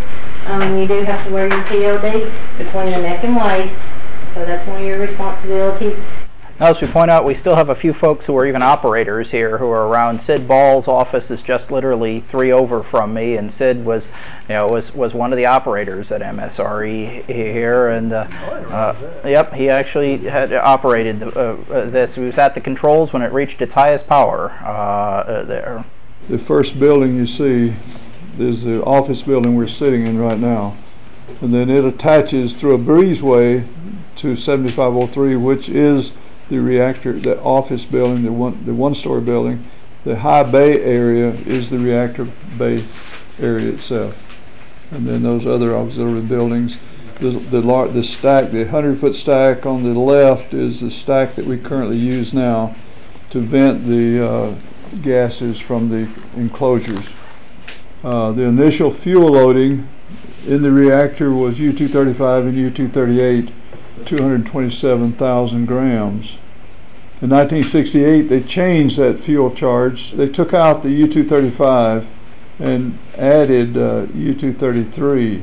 They thought the U-233 was the utopia of uranium fuel because it had the high energy thorium that uh, was a very high gamma and so nobody would want to steal it or had the capability of stealing. So anyway, U-233 was tested here and there was a little bit of U-235 in it and they added some plutonium-239 in that fuel mix. Question, uh, how much, do you know how much plutonium was added? Oh, about six, seven hundred grams. And uh, this fuel was mixed with metal salts, the fluoride uh, salts of lithium, beryllium, and zirconium. And that salt remains in three tanks basically, and those tanks have got about 6,000 pounds of salts in each tank. The next uh, picture you see is a reactor cell when they were building the reactor. Uh, you see a man standing down on the vessel uh, doing something. If you notice on the very top there's an RGRS. The RGRS is Reactive Gas Removal System and that's the system that we currently use when we vent the three drain tanks. And the drain tanks build up fluorine gas have to be removed periodically because of the pressure level. We keep the drain tanks at below atmospheric pressure. The, the fluorine builds up through a chemical reaction inside that metal salt by a radiological process. We vent the headspace from each of the three tanks on a regular basis. Since the reactor has been shut down for a long time, what is it that you are maintaining? Why do you need to maintain the pumps and the valves and? The salts are maintained in tanks that are isolated with uh, air-driven valves, motorized valves. And we maintain a uh, Ingersoll Rand air compressor system that maintains the air to keep these valves closed or open, and there's dozens of valves involved in this arrangement. You shouldn't believe that since the reactor's been retired, it's continued to off-gas uh, fluorine since then. It's only been since 2008 that we regenerated the salts and then uh, put in fluorine in order to volatilize the uranium to get it to come off into the traps. Jim's going to talk about it. So to remove the uranium-233, you didn't reheat the salts, you just... We did. You reheated them and then fluorinated them. Yes, we did. You got to understand, those people are going into the high bay. This is an old facility. There's been a lot of work that's gone on in the past several years. Look down before you walk, okay? That's our biggest hazard here right now. Oh. Oh my goodness. Yes, yes. I've modeled this shape neutronically. Can I touch it? Well, sure. No, don't don't touch it. Your hands are gonna look like this. I have a small child. So is this full size? yeah, exactly. Yes. It is like a Oh. lead pencil, isn't it? Yeah, it is. Basically. Graphite. Who, who manufactured it? Poco Graphite manufactured this. Having this stuff on my fingers is like the equivalent of being a teenage girl who just hugged her favorite boy band. This is actually where they heat their tanks up. That's a monitoring system that we have on the stack. That's alpha, beta, gamma. This was all hard piped in, but yet the tanks were suspended. Huh. So that that just kind of blew me away when I learned about this. Well, I studied the instrumentation, and it was actually a non-trivial problem to figure out how full the tank was, so they weighed it. They weighed it. That's how they did Physically it. We weighed the traps here. We, we mounted a strain gauge, which is still here, on this, on this uh, beam. And the trap was brought over here with a, uh, with a low boy or a little gadget that we pull. The carrier, there's two of them sitting right there. They weigh about 600 pounds apiece. And so we'd bring the carrier over, line it up with this scale, take the top off of it, and then reach down with a hand tool, pick the trap up and hook it on the strain gauge and weigh it. And we, we had to weigh it, you know, we're dealing with uranium in, in very precise uh, measurements, so. So what, how, um, how precise did you have to be? Oh, less than a half a gram. You should have stayed on the blue part, that's it. Okay. Don't touch anything. I won't. Remind me what was this used for? This is for the. To operate the RGRS, that's operate the valves. Oh, to, this is to help with the venting of the gases. venting of the gases. I'm not going to put my hands in. Don't put your hands in. No. we'll have to cut them off. I know, exactly. I'm going to put them straight back in my pockets. Thank you. There's a pair of blowers that would blow air through over a radiator that would cool the salt before it went back in the reactor. And they, they attach outside the building right here. And I think This is East Tennessee. If you dig more than 15 feet or so, we have water. you hit water. Huh? So this tunnel shows how deep the connection is from the bottom of the reactor vessel over to the drain tanks. That's the sump area. These are the probes that we used. Uh, the box is the top part of the probe that we had the controls. We could tell exactly how far down the probe was moving and the weight of it and all this stuff. So the probe had five zone heaters on the end of it. The end zone heated and it would melt a pool in that salt and would sink down in it. So when it got in within a few inches, we would start sparging HF gas through this molten salt. Mm-hmm. And that HF would recondition the salt back to its original crystal. When we were going to move the salts out of the, the tank in the storage position, We're going to pressurize the tanks moderately, you know, still keeping them below 50 psi. Cause a siphon, which would cause the, the flowing salt to come over into these transportation cabs. Oh, perfect. Now you can get it. Now you can get a video of it. Oven, oven cell, you can see the, the walls around it, and all that heat trace in order to bring the uh, salt out of the storage tanks into those transportation cabs that would slide over. So those are newer transportation cabs. Those were built for this project. Okay. We were going to take that salt while it was molten and flow it into these transportation casks. When we removed uranium, we shipped it over to a storage facility at 3019, which is mm, on site. And they have the world's collection of U-233. There's about a hundred different inventory items over Okay. in 3019, Uh-huh. and, and dozens of different forms: powders, plates, liquids, Okay. salt, whatever. The salt portion of that inventory came from this reactor. The, the, the other direction, I'm not allowed to shoot in, it- but it looks pretty interesting. The amount of uranium in there dictates security levels that we put on the system. That that dictates a lot of. it. We're category two re- facility here, so basically everything that we photograph and do, they're going to want to see what we're giving them, so they so, so we don't get off you information. Yeah. I don't know what's secure, what they can and cannot see. There are people that are trained that can look at those photographs and say, no, we don't want this shape to go out. We don't want this. We don't want them to know that we were using this type of gas in here. It can be as simple as that. And they say, I wonder what they're using. Somebody may sit over over and say, why do they got argon in the system for? And it may be the key to what they're looking for. Yeah. And we may have just given them that information by a simple photograph.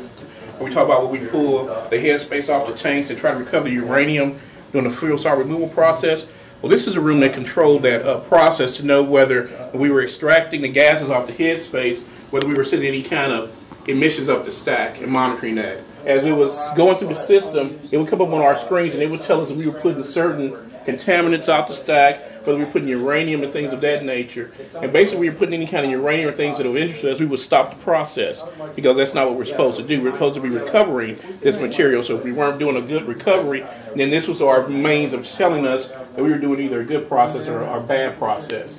The UF6 peak. So we saw that it came out to be 20. 2090, 1290, we needed, we were putting uranium at the stack and we needed to stop. Our process wasn't being as efficient as we needed it to be. So if, if you were interested in uh, researching MSR, is there any value in maintaining the site as is, or is it the educational value provided pretty much exhausted and now it's just like, you just as soon clean it up? Yeah.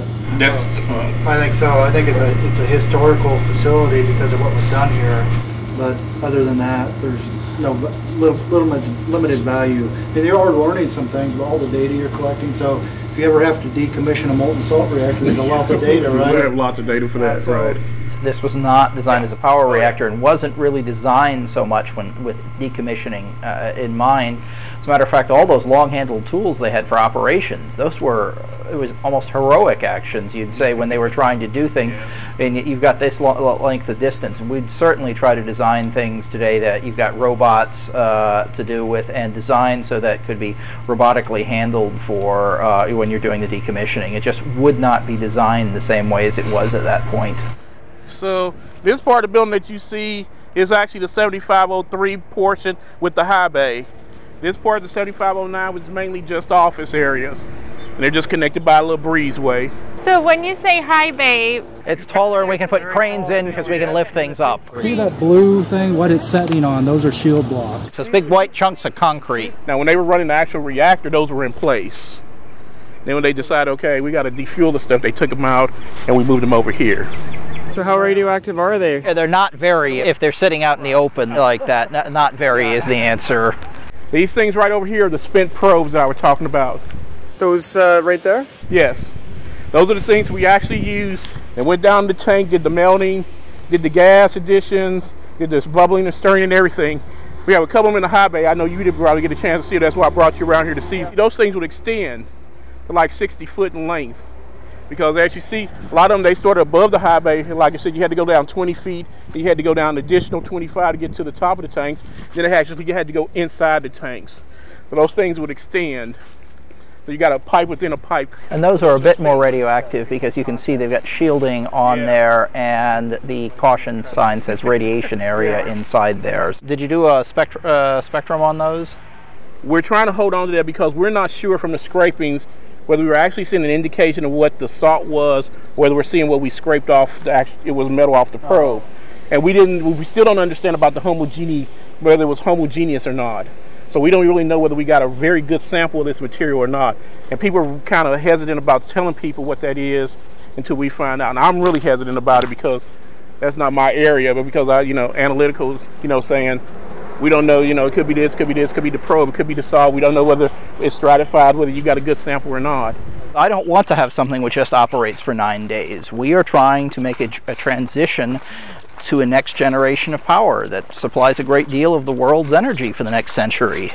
DOE is DOE directly is directly interacts with Congress. The national laboratories are not allowed to uh, petition Congress directly. I mean, we think our projects are important. We believe believe that there are is a great deal of value in fluoride salt cooled high temperature reactors. We think that passively safe reactors uh, that generate large quantities of power uh, power and with potential of being low cost uh, sh should be of a great deal of interest to the world. Uh, particularly think things like uh, being able to produce these with uh, domestically produced components as well as uh, being able to produce hydrocarbons uh, with a nuclear power and reduce our national dependence upon imported oil uh, are very important. and we're hoping that we can contribute to, to solving some of the nation's energy challenges we get a limited amount of money through, through the Advanced Reactor Concepts program. Uh, it's a very small program, but we try to keep it alive, and we have a number of people who, I mean, Oak Ridge works as a team. We're a very team-oriented organization. That's why you're seeing all of the people, the lab director, the deputy lab directors, two of uh, them, we've got a number of people who work together, and we're all trying to encourage uh, DOE uh, that we believe that this is in the nation's best interest providing technical information to DOE is what we do. You can't lobby Congress. We only respond when uh, if Congress asks for our technical opinions, then we can provide the technical opinions. We, we are not paid by Congress to go lobby them, and, and all of our efforts uh, are things that are under the direction of Congress through the U.S. Department of Energy. That is only uh, the DOE's uh, responsibility to, uh, to go ahead and advise Congress. We are slowly making progress. We are always advocating we should go faster. I believe that the nation spends I would I would think the nation should spend a considerable more amount of money on energy research, uh, research, and that this is a very desirable pro project to be spending uh, time, uh, spending money and time on. So, do you think you'll get to build one in your career? I hope so. Believe I was in seventh grade when I decided I wanted to st- uh, make my life towards advanced reactors. And so I have been uh, pushing, pursuing this for a great number of years. What did you see in the seventh grade that? Uh... I read an Isaac Asimov story about cold fusion on there and the and the implications of what free energy would do. And I sort of knew I wanted something. I was going to be an engineer or scientist just from day one.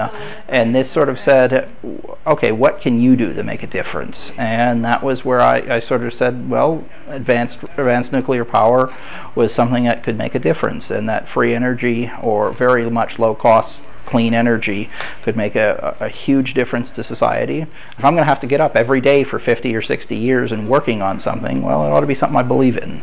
So I have worked on reactors my whole career here. So even one reactors weren't that popular. Jess and I have similar amounts of experience here. And there's a big hole in the reactor experience. There's a lot of folks with very gray hair and a lot of re retirees and there's a lot of some new young people. If you look at the the uh, you know the population curve, it's a double hump curve, and we're at the bottom of the bottom of the hump. Jess and I are some of the few that are in this age group. Said you know when we went into nuclear energy, they said, "What are you nuts?"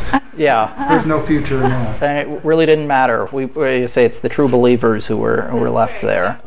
Kirk's got a new Facebook update page. I think it's got he and the uh, Baroness holding a graphite rod about the height of the two of them. My name is Steve Burnette. I'm the HFIR plant manager. Uh, as, you, as you may have heard earlier, HFIR is not a new reactor by a long shot. It was designed in the late 50s and uh, built, started construction in 58 and went online in 1965.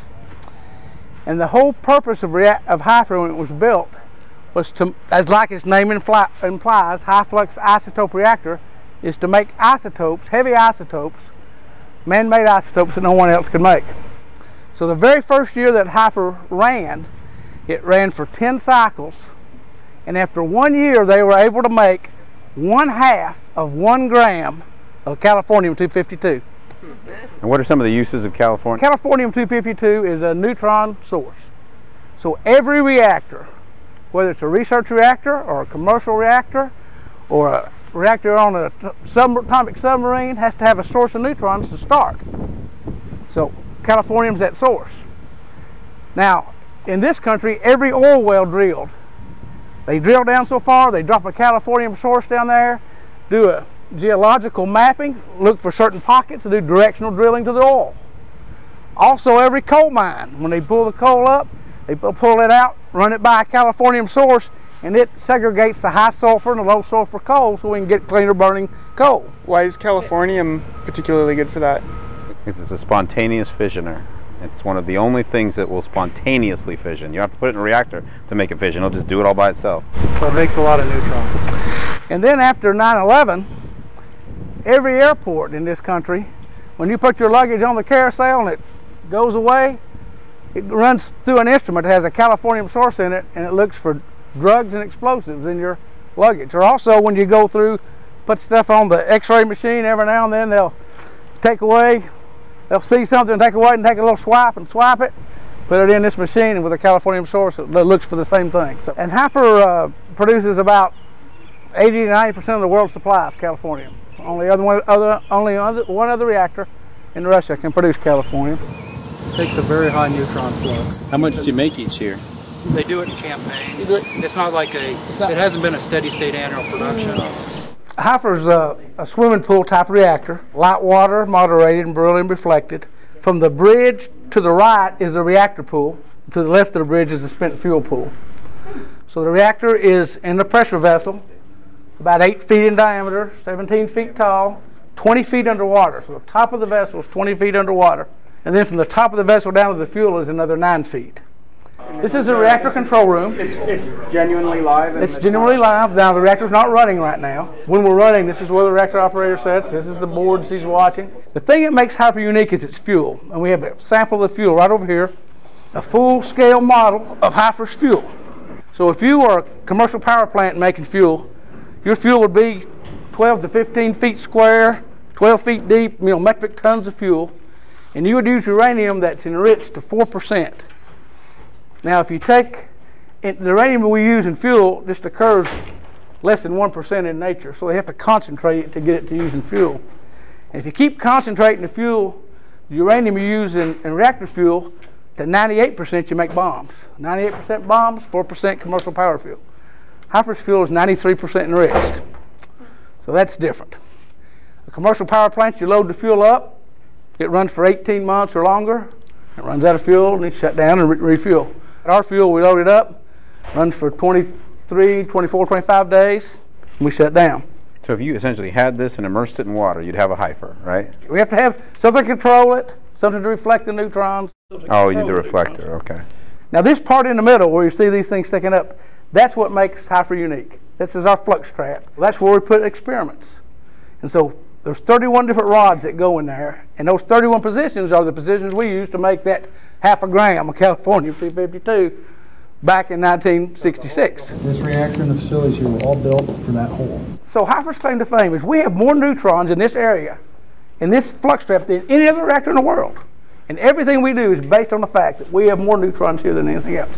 Now, in this area, we do materials damage studies on certain materials, and we make other isotopes. One of the isotope campaigns we're making right now is selenium-75. That's used as a gamma source to make for an X-ray source. Uh, just last summer, we irradiated what we call a rabbit, a little small capsule about that long, with lutetium in it. We sent it to the Netherlands, and 26 patients were treated for brain cancer with this one capsule. Now, important to me, 20 of the 26 were Americans. You couldn't get that therapy in this country because it wasn't FDA approved yet. But lutetium, they use it for cancers that of the uh, hormone-producing glands, like the thyroid gland, a pituitary gland, and so forth. When uh, the Canadian reactor shut down, they contacted us about making technetium because it was down for several years, and then other reactors in the world were down. We can make technetium, but the trouble is it affects all of our other programs. To make technetium, we, it only takes us about six days to irradiate it. So we would be running the reactor for six days, shutting down, have to pull all of it out, putting it back in, run six days, shut down, pull out, and that would affect our beam rooms. We're overbooked about four to one. The half-life of molybdenum makes it not really feasible to produce in this reactor. Our, our beam facilities are international user facilities. So if you want to use the beams here, we have a science committee outside of the laboratory, independent of the laboratory, reviews every experiment, looks for the most scientifically relevant experiment. If, the, if, if you're willing to publish in open literature for everybody to see the results of your experiment, there's no radiation fee. If you're, got, if you're a proprietary co company and want to do something and keep the data in proprietary, then, then you're charged a fee for doing that. The same thing with using the in the vessel radiation facilities. If we're making isotopes for somebody, then there's a fee. Mm. If, if we're doing materials radiations and experiments that people are willing to share with everybody, then there's not a radiation fee. Okay. Next That sounds pretty awesome. Yep. Policy. It's true for all of our user facilities. It's true for SNS. It's true for our computer. Um, these are funded. The government funds it to get science out. As long as it's open and, and available to everybody, that's why we're here. So here's a source of neutrons. Here's our fuel. These control plates, a solid part of that plate contains europium. Europium absorbs neutrons. This beryllium reflector reflects neutrons. We drive this inner cylinder down and out of four plates up till you get a little window right below that common area where there's no europium. So it makes a little slit, a little window. So now that neutron gets out, hits the beryllium reflector, reflects back in, hits the fuel. One makes two, geometric multiplication, and we go critical. So if you do that and just left that, so our fuel burns right in the center, from the center out. So if you do that, and then you don't change that gap, pretty soon it'll be like you driving down the road in your car, and your car running out of gas. You just sag out. So we measure that heat, and as we start to get that, we open that window a little wider and burn some more fuel, open the window a little wider till 24 days later we've burned the fuel. These are experiment holes in this beryllium, so I can put different experiments in here do radiation studies. One of the things we're doing right now with one of these experiments is, you remember what happened in Fukushima? You know, tsunami wiped all their cooling out. Everything started heating up. Now, commercial reactor fuel has a zircaloy cladding around it that holds the fission gases. When that fuel got up to 1200 degrees C, that zircaloy gave off hydrogen, and that's what blew the roofs off the place. Some of the material studies, silicon carbide coating, that wouldn't give off hydrogen at that temperature. In fact, we've got two Westinghouse fuel elements in here that we are radiating right now to prove out that concept. No hydrogen. No hydrogen. Now the guys that built this weren't any dummies. As an afterthought, even though they were making isotopes, they decided to put four beam tubes in here. So they put four, put four tubes with just a, a stream of neutrons coming out. Three of those tubes we use for uh, neutron scattering, fast neutron scattering experiments. Now what you do with that is you look at metals, heavy metals, and as the neutrons hit it, it's almost like a scattergram. You measure the deflection off, and you can tell where the atoms are. And you can tell in a sample, atom by atom, what makes up your sample. You can tell if that atom's spinning or not. You can tell if it's polarized or not. So for solid matter, metals, we have the most intense neutron scattering instruments in the world to study that. They're not positive or negative, so you can't use magnets. No, so they just come through a tube and through a concrete barrier, and just how many come out the end. So we lose some. Interesting. Okay, so you only keep those that are that make it down the tube. Okay. 2004, we took a tube that looked like this, and we crammed it up inside one of our beam tubes, and we circulated supercritical hydrogen in there at 18 degrees Kelvin. We looked at Huntington's disease. Huntington's disease is similar to Alzheimer's and Parkinson's disease, disease of the nervous system that affects the muscles. Huntington's is a, is a um, disease, hereditary disease that affects 1 in 10,000 people. And they actually isolated the Huntington protein. So we took this isolated Huntington protein, put it in our cold beam, and we looked at the, a neuron. In fact, we looked at the nucleus of a neuron. And in this nucleus, we saw these little fuzzy balls that weren't supposed to be there. And since this biological sample was alive, we watched it grow and watched those fuzzy balls turn into long stringers. That's the first time we'd seen the mechanism for what causes Huntington's disease. So now we're working with the medical community and the people that are working on treatments or, or ways to treat that, and we have follow-up experiments lined up that says, okay, let's apply this treatment and see, we can see if it's effective or not. That's pretty exciting. So for your short-lived radioisotopes, that's the size of the capsule that's, that's a cylinder cut in half. That's the size of the rabbit that goes down in and back out. So you're talking very small batch. Now granted, very small amounts can mm. do phenomenal amounts. This is a remarkable facility. This is, this is, this has done a lot of good for the United States, for the world, for humanity. I mean, it, to have a, a very intense source of neutrons. And it's another example of when people talk about how terrible highly enriched uranium is. I mean, here's highly enriched uranium being put to very productive uses. I mean, I just make a point. It's neither good nor bad. It's what you do with it, you know. Jess, this has been incredible. I mean, this is like every tour I've had multiplied together times four, you know. I'm telling you, this is. And it's not lost at all. Not, well, the MSRE is unique turns out it was actually good for me because they're actually very excited to have people come see it.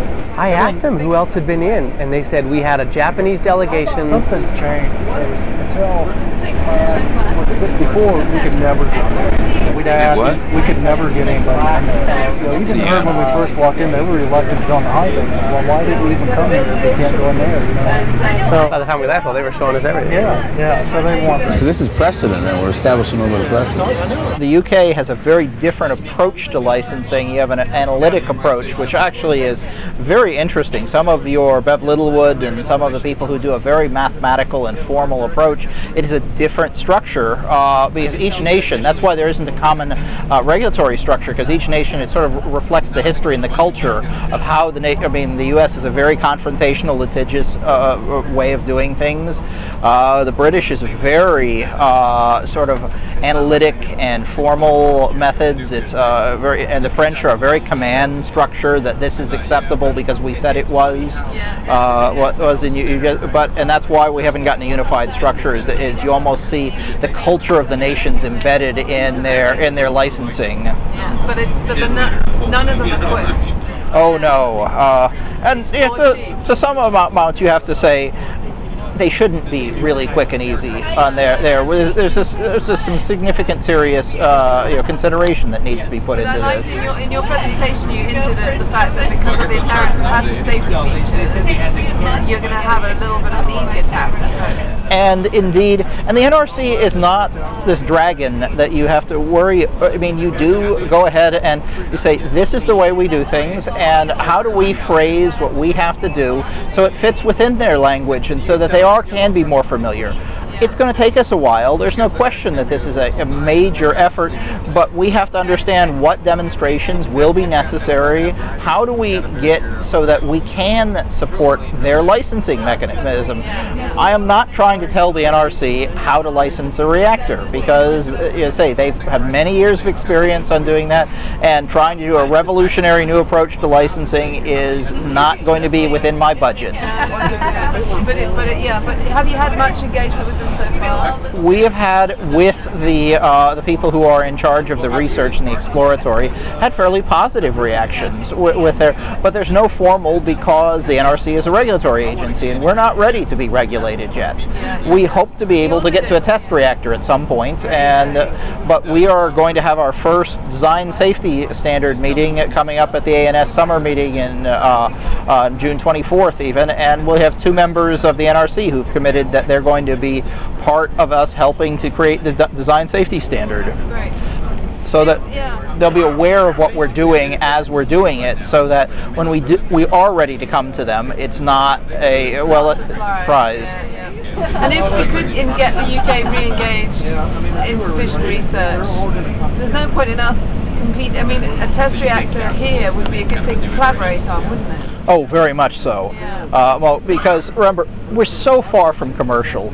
This is almost all open on here. We're working with the Chinese. We're trying to get a, a negotiations to work with the uh, the Indians on uh, here. There's very, I mean, this is, and there's no way we'd be doing this if this were very near to commercial, where it'd be an export control issue in addition. Uh, but because it's a long way, this is still science. Yeah, yeah, yeah. And yes, I hope to get to the point where we do have export control issues and we got companies with proprietary interests, but we're not there yet. See, now I asked these guys, I said, have you had other delegations come through? And they go, why would anyone be interested? And I said, well, Chi- did the Chinese go there? well, that's what I asked them. I said, well, India has a thorium research project, China does, Russia does. I go, any of them come through? He goes, the last delegation to come through here was Japan decades ago. Have you been to other national labs? Are they all as modern Euro? No, no, this one is This much is- more modern than a lot of the other ones I've seen. Yeah. Actually, so I'm I'm really surprised actually because usually they're a mix. This is the closest thing you'll find in real life to an accelerator-driven reactor. It's not an accelerator-driven reactor, but it does have an accelerator. A very large accelerator, as you can see. A lot of people talk about accelerator-driven uh, reactors. Uh, to work, they would need a linear accelerator hitting a spallation target. Uh, this is uh, using protons to actually produce neutrons. Instead of fission, uh, we, ins- we inject uh, protons up here, we ionize them, uh, we accelerate them through this uh, linear accelerator. What propels it? Uh, RF frequency. These are charged, charged particles, so you can accelerate charged particles with Using electric, magnets. electric field. You can't accelerate neutrons, or Yeah, and radio frequency is tied to it. You know, you you get these waves that are actually, they, you know, every time they hit a magnet, they're growing, and that particle. Voltage, any voltage difference, you can accelerate a charged particle. Right. That's how these units have Yeah. accelerating charged particles. It's like you surf the waves. That's what all this is about. All this is about generating the electric fields that chart, you go from basically almost zero energy. Particles are flying there, and that's And these straight. Are, these are, you're putting electric field gradient and accelerating it. Uh, these things literally are surfing along along the uh, the high frequencies because you're getting very near the speed of light. About 92 uh, percent the speed of light uh, by the time we uh, fling the protons into this accumulator ring. Okay, and so they spin around, and as they pulse, uh, it picks up additional protons every time it swings around. So you get this proton cloud uh, swinging around the accumulator ring, and then we kick that out when we kind of reach a density of protons, and we uh, shoot them down to a liquid mercury target system that's about the size of a Volkswagen. And uh, that proton energy striking that liquid mercury target uh, is equivalent to about eight sticks of dynamite, and it spalls off neutrons from those big, big uh, nuclei of, of mercury. And so, uh, just like at HFIR for the neutron scattering mission, uh, we use those uh, neutrons then to probe materials, and uh, we do it off these beam lines. What does mercury turn into after spallation? I mean, is it like fission product distribution? It's a dog's breakfast. Yeah, it goes into all kinds Yeah, I of don't know if things. it's real, it, it's, it's got a distribution to it like fission product. Probably not double humped like fission, right? Because there's not two pieces. It'd be more like a. Recall off the top of my head. Remember, you get 27 neutrons or something. I mean, it's it's shredded. Yeah. So it drops from being mercury to, I don't know, something 27 atomic mass units. Small. Not quite that small.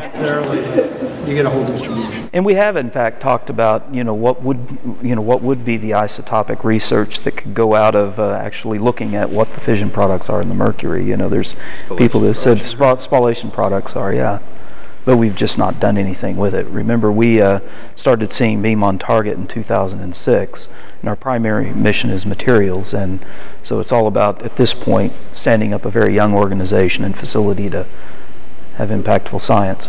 Uh, there are collateral uh, benefits that we are exploring. For example, fission produces a hard neutron flux of about 1 MeV uh, tops, wouldn't you guess? And that 10 to the 13, yeah. A few MeV tops. Yeah, and uh, if you want to get into the fusion space, you want super high energy or hard neutrons at 14 MeV uh, is kind of the standard. And so what we've done is we've uh, been exploring with the fusion materials uh, folks, uh, actually installing. We get a lot of hard neutrons here, right? Uh, installing a little rabbit system like at HFIR where we can actually put materials next to that liquid mercury target and uh, look at the damage effects from those high energy neutrons coming off the spallation source. Uh, Europe's in the process, of course, of building the European spallation source, and many of our scientists are on duty there helping them design targets and accelerator systems. Uh, ISIS, your accelerator at Oxford, is the only thing close to this. So is this the only way to get those high energy neutrons in a sufficient flux to do materials examination? Uh, yes, it is. Uh, yeah, you could build a fast reactor, a high temperature fast reactor, which would give you some higher energy neutrons, but it's. Fission just can't produce. That is actually built fusion. Yeah, so fission, so fission just can't put, produce neutrons of high enough energy to simulate fusion neutrons, but, but this can. This does. This does. So is this an important part of the, of the U.S.'s contribution to the ITER effort? Uh, right now, there is no no other source to do that material irradiation uh, currently planned in the in the world except for ITER. China is building a, sp- a spallation source, and uh, they will have limited opportunity there. But right now, this is the biggest thing on the planet. Does the LINAC run pretty semi-continuously to, to always be filling the accumulator ring, and then you just let the pulses through as you want them? Yeah, of course it does pulse. You know the it itself, right? So it's it's all time. The ion source has got a steady bleed, but you know when the RF frequencies flying down through there, and it's time to uh, uh, correspond with the accumulator ring, which is time to correspond with the ejection.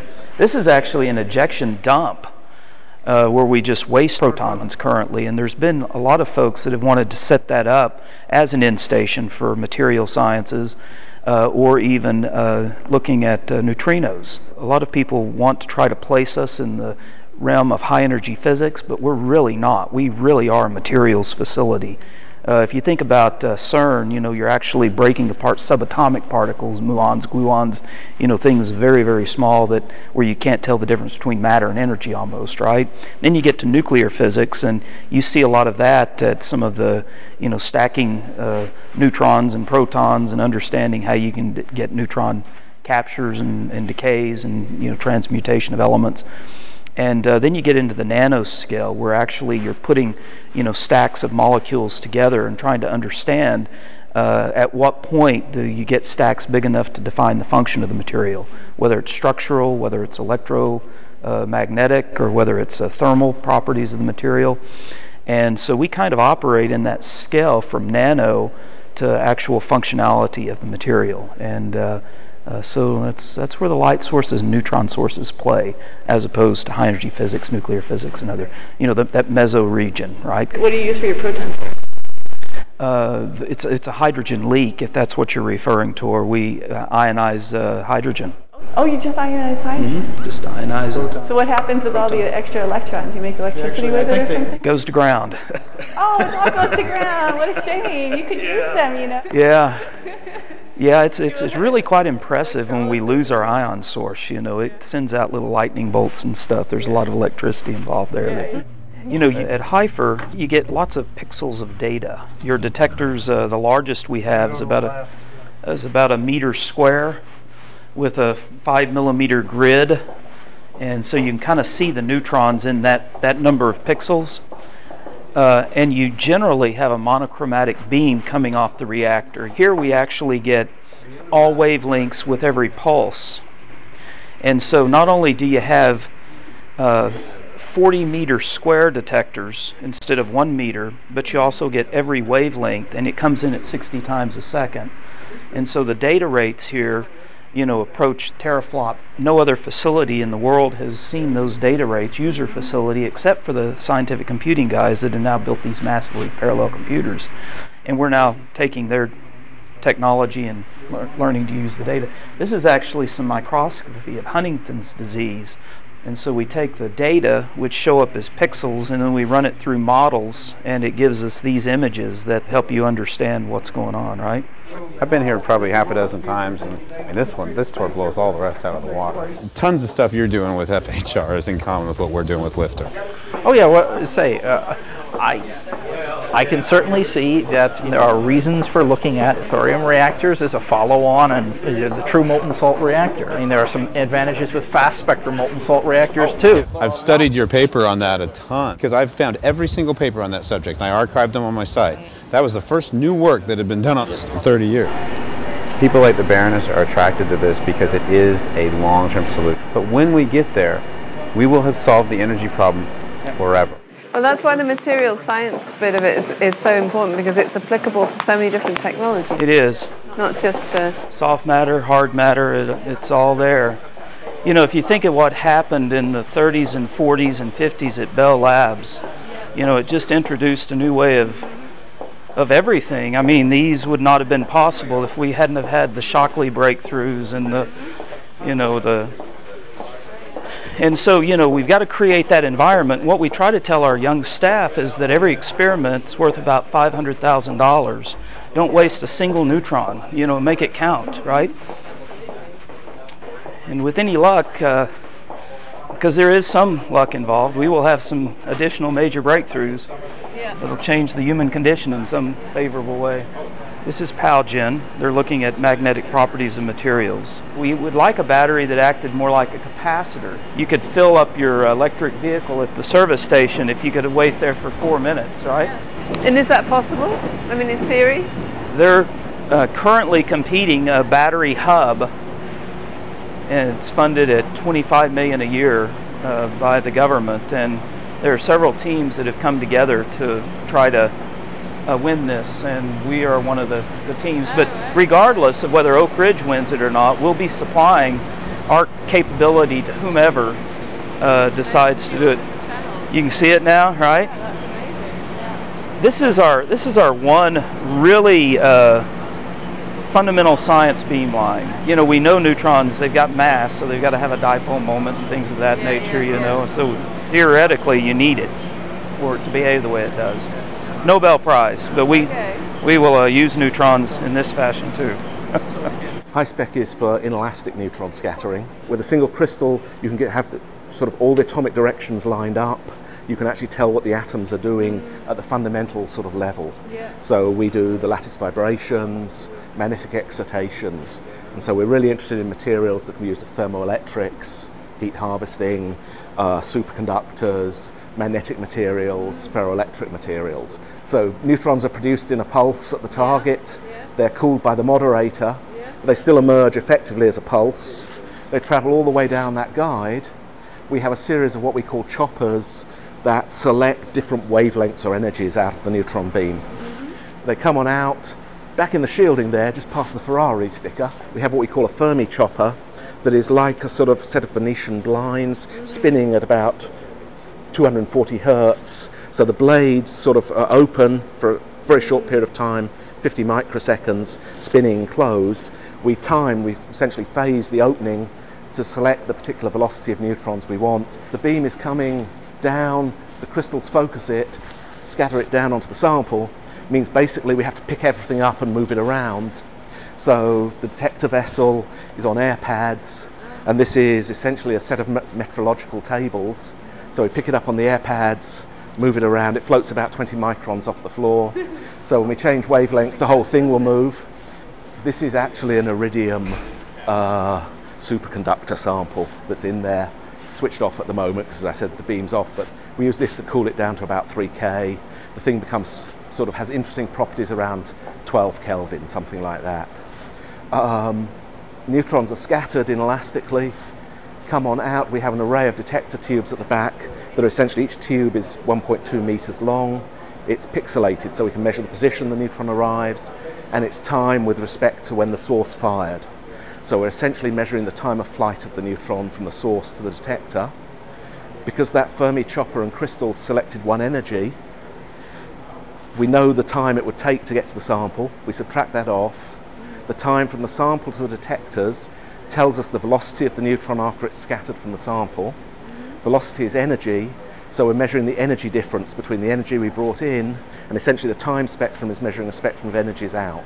So we're collecting that on 160 detector tubes 128 pixels, essentially with a few microseconds resolution. What's your material of your detector tubes? Um, the tubes themselves are steel, but they have helium-3 in them oh, with a high, okay, high voltage okay, wire. Okay. We're Americans, you see. Uh, we have helium-3. Right, right, I know my colleagues at the European Spallation Source are working very hard on boron um, you know, detectors at the moment. But yes. Okay.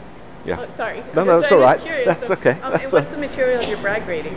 Oh, this, um, we have graphite in there. It's a bra- graphite. Um, hi- highly oriented pyrolytic graphite. So you can actually, you know, essentially order graphite along the c-axis um, by a high sort of pressing it at high temperature under water and various things. Um, so we use that actually for unpolarized neutrons. We can also do experiments for neutron polarization. Apart from the energy and momentum when you scatter from the sample, you can also, the neutron has a magnetic moment. So if you polarize the neutron beam so that all the magnetic moments are the same, when you interact with the magnetic material and create the excitation, you change the magnetic moment. And we can do that polarization analysis. So we have a second set of crystals in there that we can lift up. They're Heusler crystals that by sheer luck, the 111 reflection from Heusler, if you magnetize it, various things cancel and you'll polarize the beam. We then have magnets inside to carry the thing out here. And although we don't have it down here at the moment, we've taken it back. We have a set of coils, an analyzing filter that we can mount in front of the detector vessel for analyzing the outgoing polarization, which again is polarized helium-3 gas. Nice. Mark's also uh, leading our effort to try to figure out how to deal with the big data and convert it into the images that, that you don't have to be a, a physicist to understand what you're looking at. And that's uh, one of our aspirations to open up neutrons to a broader set of scientists. And it's a major effort that he's leading for us as well. A lot of helium-3 gas. Oh, really? Oh, that's very valuable right now. Yeah. Yeah, some of my old NASA buddies still think that's worth chasing on the moon. I said, dude, trust me, for as much as it costs to put things in space, we should just enrich lithium, throw it in a reactor, and make tritium and wait for it to Just decay. cook it, right? Just cook it. Right here is uh, the exact location, about 20 feet below us, of the proton beam. Right, okay. So it's entering the facility right here below us. So is the target below us? Or? No, no, target's over there. This is where the beam goes through. It's where all the spokes come together. You know, if you look at all the instruments, they're in a radial fashion. And, you know, think of those like spokes. The target's right in the center of that hub. So the fusion program really wasn't the main motivator to build SNS? No, no, it was pure material sciences. Okay. But does the fusion program still have, I mean, is it a fraction of the reason why they built SNS? Uh, no, it really wasn't. You know, they, they built this for material sciences, and the whole idea was to actually, uh, uh, if you have a big proton accelerator and it's got extra capacity, and fusion's really needing something, they don't have to build it. So it's an in, you know it's an aftermarket interest, if you will. For example, HFIR was built uh, to produce isotopes, but uh, uh, Alvin Weinberg demanded that we put in beam tubes. Yes, yes. Right? It's like a forerunner almost. Right, and uh, so it uh, today is funded for neutron scattering, although we still produce isotopes. A multi-mission for these investments is probably good. The difference between a spallation source and a reactor really is that you get time with this, and so you get all of the wavelengths in a non-chaotic manner. In, in, in, in a reactor, they're all generated at once, and so that you get them, but they're all chaos. And here I sort of treat it as sort of like frequency analysis on here. You're getting an FFT uh, with the neutrons, so the neutrons have more value because we know what the energy it was. You just get this huge bulk of neutrons. You get 100 times more with the reactor, but they don't have a time code on them. You saw the big uh, SANS instrument, small angle neutron scattering instruments at HFIR. This is a similar type technology. The big blue tank is the EQ SANS, and of course, that's letting us look at biological and you know polymer structures. But probably our most industrial specific uh, instrument is actually in another building behind this wall. It's called Vulcan, and it allows us to evaluate the residual stress in materials. Uh, for example, if you think about the ITER project, you know they've got that central solenoid of superconducting materials, and they keep failing it. They, they, it's not making specification. Uh, they actually took a section of that central solenoid and operated it at uh, temperature and they measured the residual stress uh, in the materials as they, you know, those magnetic pulses deformed the material and ended up reducing the ability to stay superconducting after so many cycles of stress. Uh, so that right there could lead to a billion dollar decision on how to proceed with the, the ITER project itself based on that data. Uh, we're also doing a lot of work here with shape memory materials. Uh, General Electric and some of the NASA uh, Glenn folks are looking at uh, uh shape memory uh, materials to actually uh, serve as actuators or even on you know single crystal aircraft turbines. Yeah, right. you think about if you could you know the twist, the angle on those turbines affects the efficiency. And at ground level, you've got a certain temperature uh, you know, at 15,000 feet, that temperature range is different, okay. and then at 30,000 feet, it's it's different again. And they need to develop a single crystal material that has shape memory that actually morphs under these different thermal uh, properties, and then improves efficiency of the the flight. What does it mean, memory? Like, will it adapt back when it? Yes. I think it's I think it's thermally I think it really is based usually on temperature. Or current or pressure. Yeah, all of these things matter and different materials respond differently and the shape memory is you know it goes back and forth across those those properties. No, I think it was time very well spent with her because she is in a position within her government to make things happen. And yeah, her, hopefully it helps her be better informed. Absolutely. I told her, I said, I want to turn you into the smartest person on this in the whole House of Lords. Yeah, good. She said, that won't take very long. there it is. They actually do have a lot of smart folks in the House of Lords. The Astronomer Royal, they have a lot of, they have a lot of doctors. They have a, they have a really wide diversity of, uh, of professions. But, you know, you know, none of them are nuclear engineers. You know, but it, it's hard to get sort of nuts and bolts like physical scientists or engineers. Yeah. They don't really gravitate towards the political thing. I'm trying to find out what are the leading alternate designs that are out there that can help us get to a you know more sustainable, cheaper, more economic nuclear fission future. And I, I'm you know everything I've heard about the use of molten salts as the coolant and the uh, perhaps the switching out into a thorium fuel cycle. Right? Very, very intriguing because it gives you these big scale benefits. It's not incrementalism, you know, it's a kind of step change. Disruptive sort of yeah. technology. But yeah, disruptive sounds negative, but I think it's more just, you know, a, a leap to a, another state, which is has got a lot of inherent benefits. Well, the guys at MSRE were fussing at me because they didn't have a whole day themselves. Oh, really? That's what they said. They said, you, you try to cram an hour and a half, a full day into an hour and a half. Said, well, we can stay tomorrow and go to MSRE again. There's a lot to digest, and I've learned a huge amount. And I, I suppose the thing that I'm most encouraged by is that there does seem to be quite a considerable amount of. I mean, you've clearly got huge expertise in delivering large-scale projects, but in the nuclear fission side, there's a sort of a niche of work there that I hadn't appreciated was happening, and that that's kind of hopefully going to grow with time and that you're playing an important role in meeting DOE's needs but also maybe shaping DOE thinking.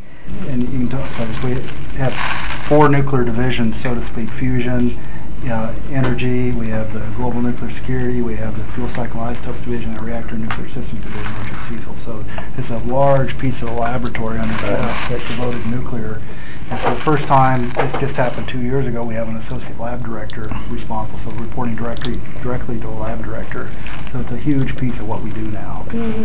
I mean, this lab did not have, as Jess was saying, did not have a nuclear sort of directorate level, ac- you know, acknowledgement, I guess, or at least organizationally. I mean, we were always nuclear. We just didn't talk about it much, you know. So, and it, out from under the yeah, yeah. And then when you consider the lab history, it's really quite amazing that we kind of were in that sort of, I guess, two decades at least. Really, what happened was in the 70s when the you know Mason said this morning. You know, we start a lot of our things with uh, a non-nuclear energy startup in the 70s with the with the oil crisis, Mhm. and so that's the same time that they sort of just sort of let the nuclear migrate out to different divisions and sort of hold up in the different divisions. And so in about 2000, they brought a lot of it back together. But just in like Jeff said, two years ago, a year and a half ago, brought it up to the directorate level and sort of really began to make sure we coalesced all the nuclear together. try to make input, you know, but it's been disappointing in my career that we've struggled with forming an energy policy. Though things have gotten quite a bit better in the last five or six. When you say, Jess, I mean we're all sort of contemporaries and came, you know. Good, because not only because of the climate issues, but also the price of oil. Mhm. People are saying some, we've got along, we got along for a number of decades not doing anything about energy because it was cheap and nobody was that concerned about climate. And it all Mhm. sort of came together in the mid part of the 2000s. Say we got to do something about climate, and then the oil prices took off. And so it's, it's clear something has to be done. So Mhm. now, now that's pretty well recognized, and the question is what? Mhm. And actually firming that up into a plan that's a long-term plan to actually do something.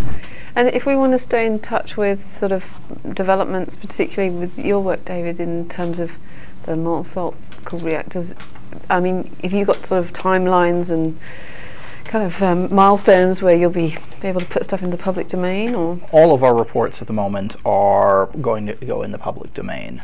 Uh, certainly, Kirk will stay up with them. I am confident. DOE has not made a commitment uh, that it's going to build a test reactor or at any particular time that it a timeline for doing that on there, and we and we don't get to suppose when DOE elects to to, uh, to make that type of a commitment.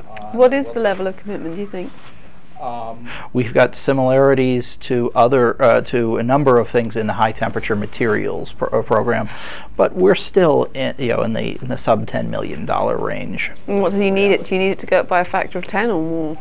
It would be very nice to have a research program that would, would be a focused one for us uh, us for a number of years in the ten million dollar range uh, on there for a while. Because we there are a number of sort of technology hurdles that we have to overcome before we're ready to say I want to build, uh, you know, make the next commitment because you don't want to waste the, gov- the, the public's money on there. But I, but uh, I want to have materials that I've got a qualified reactor vessel. I've got a qualified structural elements. I know who I'm going to buy lithium from. Uh, from I've got I've got a, mo- a lot of the supply chain people who are saying, well, I'd like to work on th- this uh, this and this. There's a number of years that we need to be in that type of a level because I need to have someone who can work with the NRC as a full time. Well, this is part of the helping us develop our safety and licensing uh, practices on this. We uh, have to get our the, the the safety tools and modeling but we're not you know we're not ready to be a hundred million dollar a year program uh, program and we won't be for a while.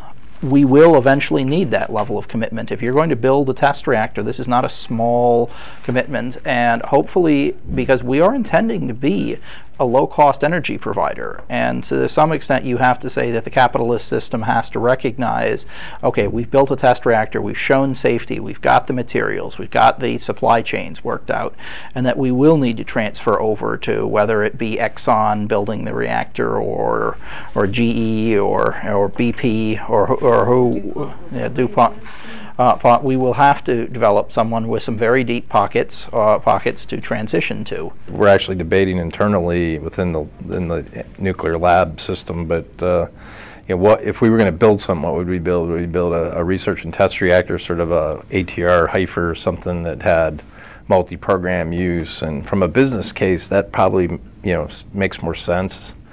But do we want to actually build a, a, a prototype reactor that actually demonstrates some game-changing technology for nuclear? You know, and that's That, yeah, yes, you do. You know, yeah, right. yeah, right, but we know your viewpoint, and, but as somebody was pointing out, the, the one, Yeah, I think it was you, David. The one experiment ran for nine days, and we, you know, we did the experiment, right? And so, so you, you- as you can see, like a facility like this, you know, what motivates the investment of a billion and a half dollars to, uh, you know, that shows pay payback to the to the taxpayer and those kinds of things. you And want so- something that's flexible, basically. so, so it drives you towards these kind of user facilities. Something that's used in, in a in a large way. That's what get you just get into with. That's not to say that a high temperature research reactor and that high temperature reactors can't be a central part of a science focus, but it's probably not going to be a billion dollar facility uh, uh, here, but it might be a few hundred million just on a, a, a there. But it has, but it's going to be a major national commitment when you're talking those types of numbers. We'd be interested in knowing how your interactions with the, the uh, Chinese go as, as they as they evolve, because they will. Yeah, the Chinese sort sort of seem to be ready to try one of everything at this at the moment, right? You know. and throw a lot of money and resources at it as well. Yeah, yeah. Now we'll find out more in, in the autumn when we're out there again. And We'll actually be there the week before with with uh, Assistant Secretary of Energy as part of his technical support team. But the but that week, uh, where the thorium conference is, is the MIT is doing its test reactor design review for FHRs, and so I'm going to be I need to be there for that. So I will be there, be at MIT that week for that. So on different two sides of the planet, there's lots going on in that one week. We've got to run soon to uh, go see some of these old retirees for dinner. Thank you very much. Yeah. Thank you.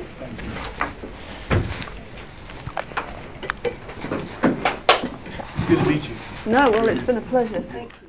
So this is the TVA Bull Run coal-fired power plant. It's it's what powers the majority of Oak Ridge National Labs energy-intensive research they're doing.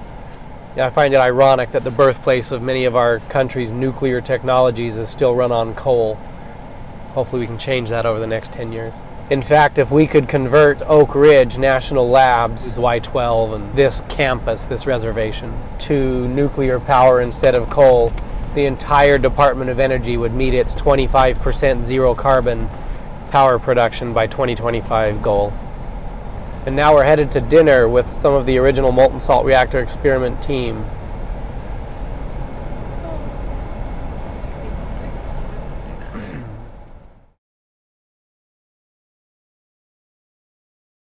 The great outdoors,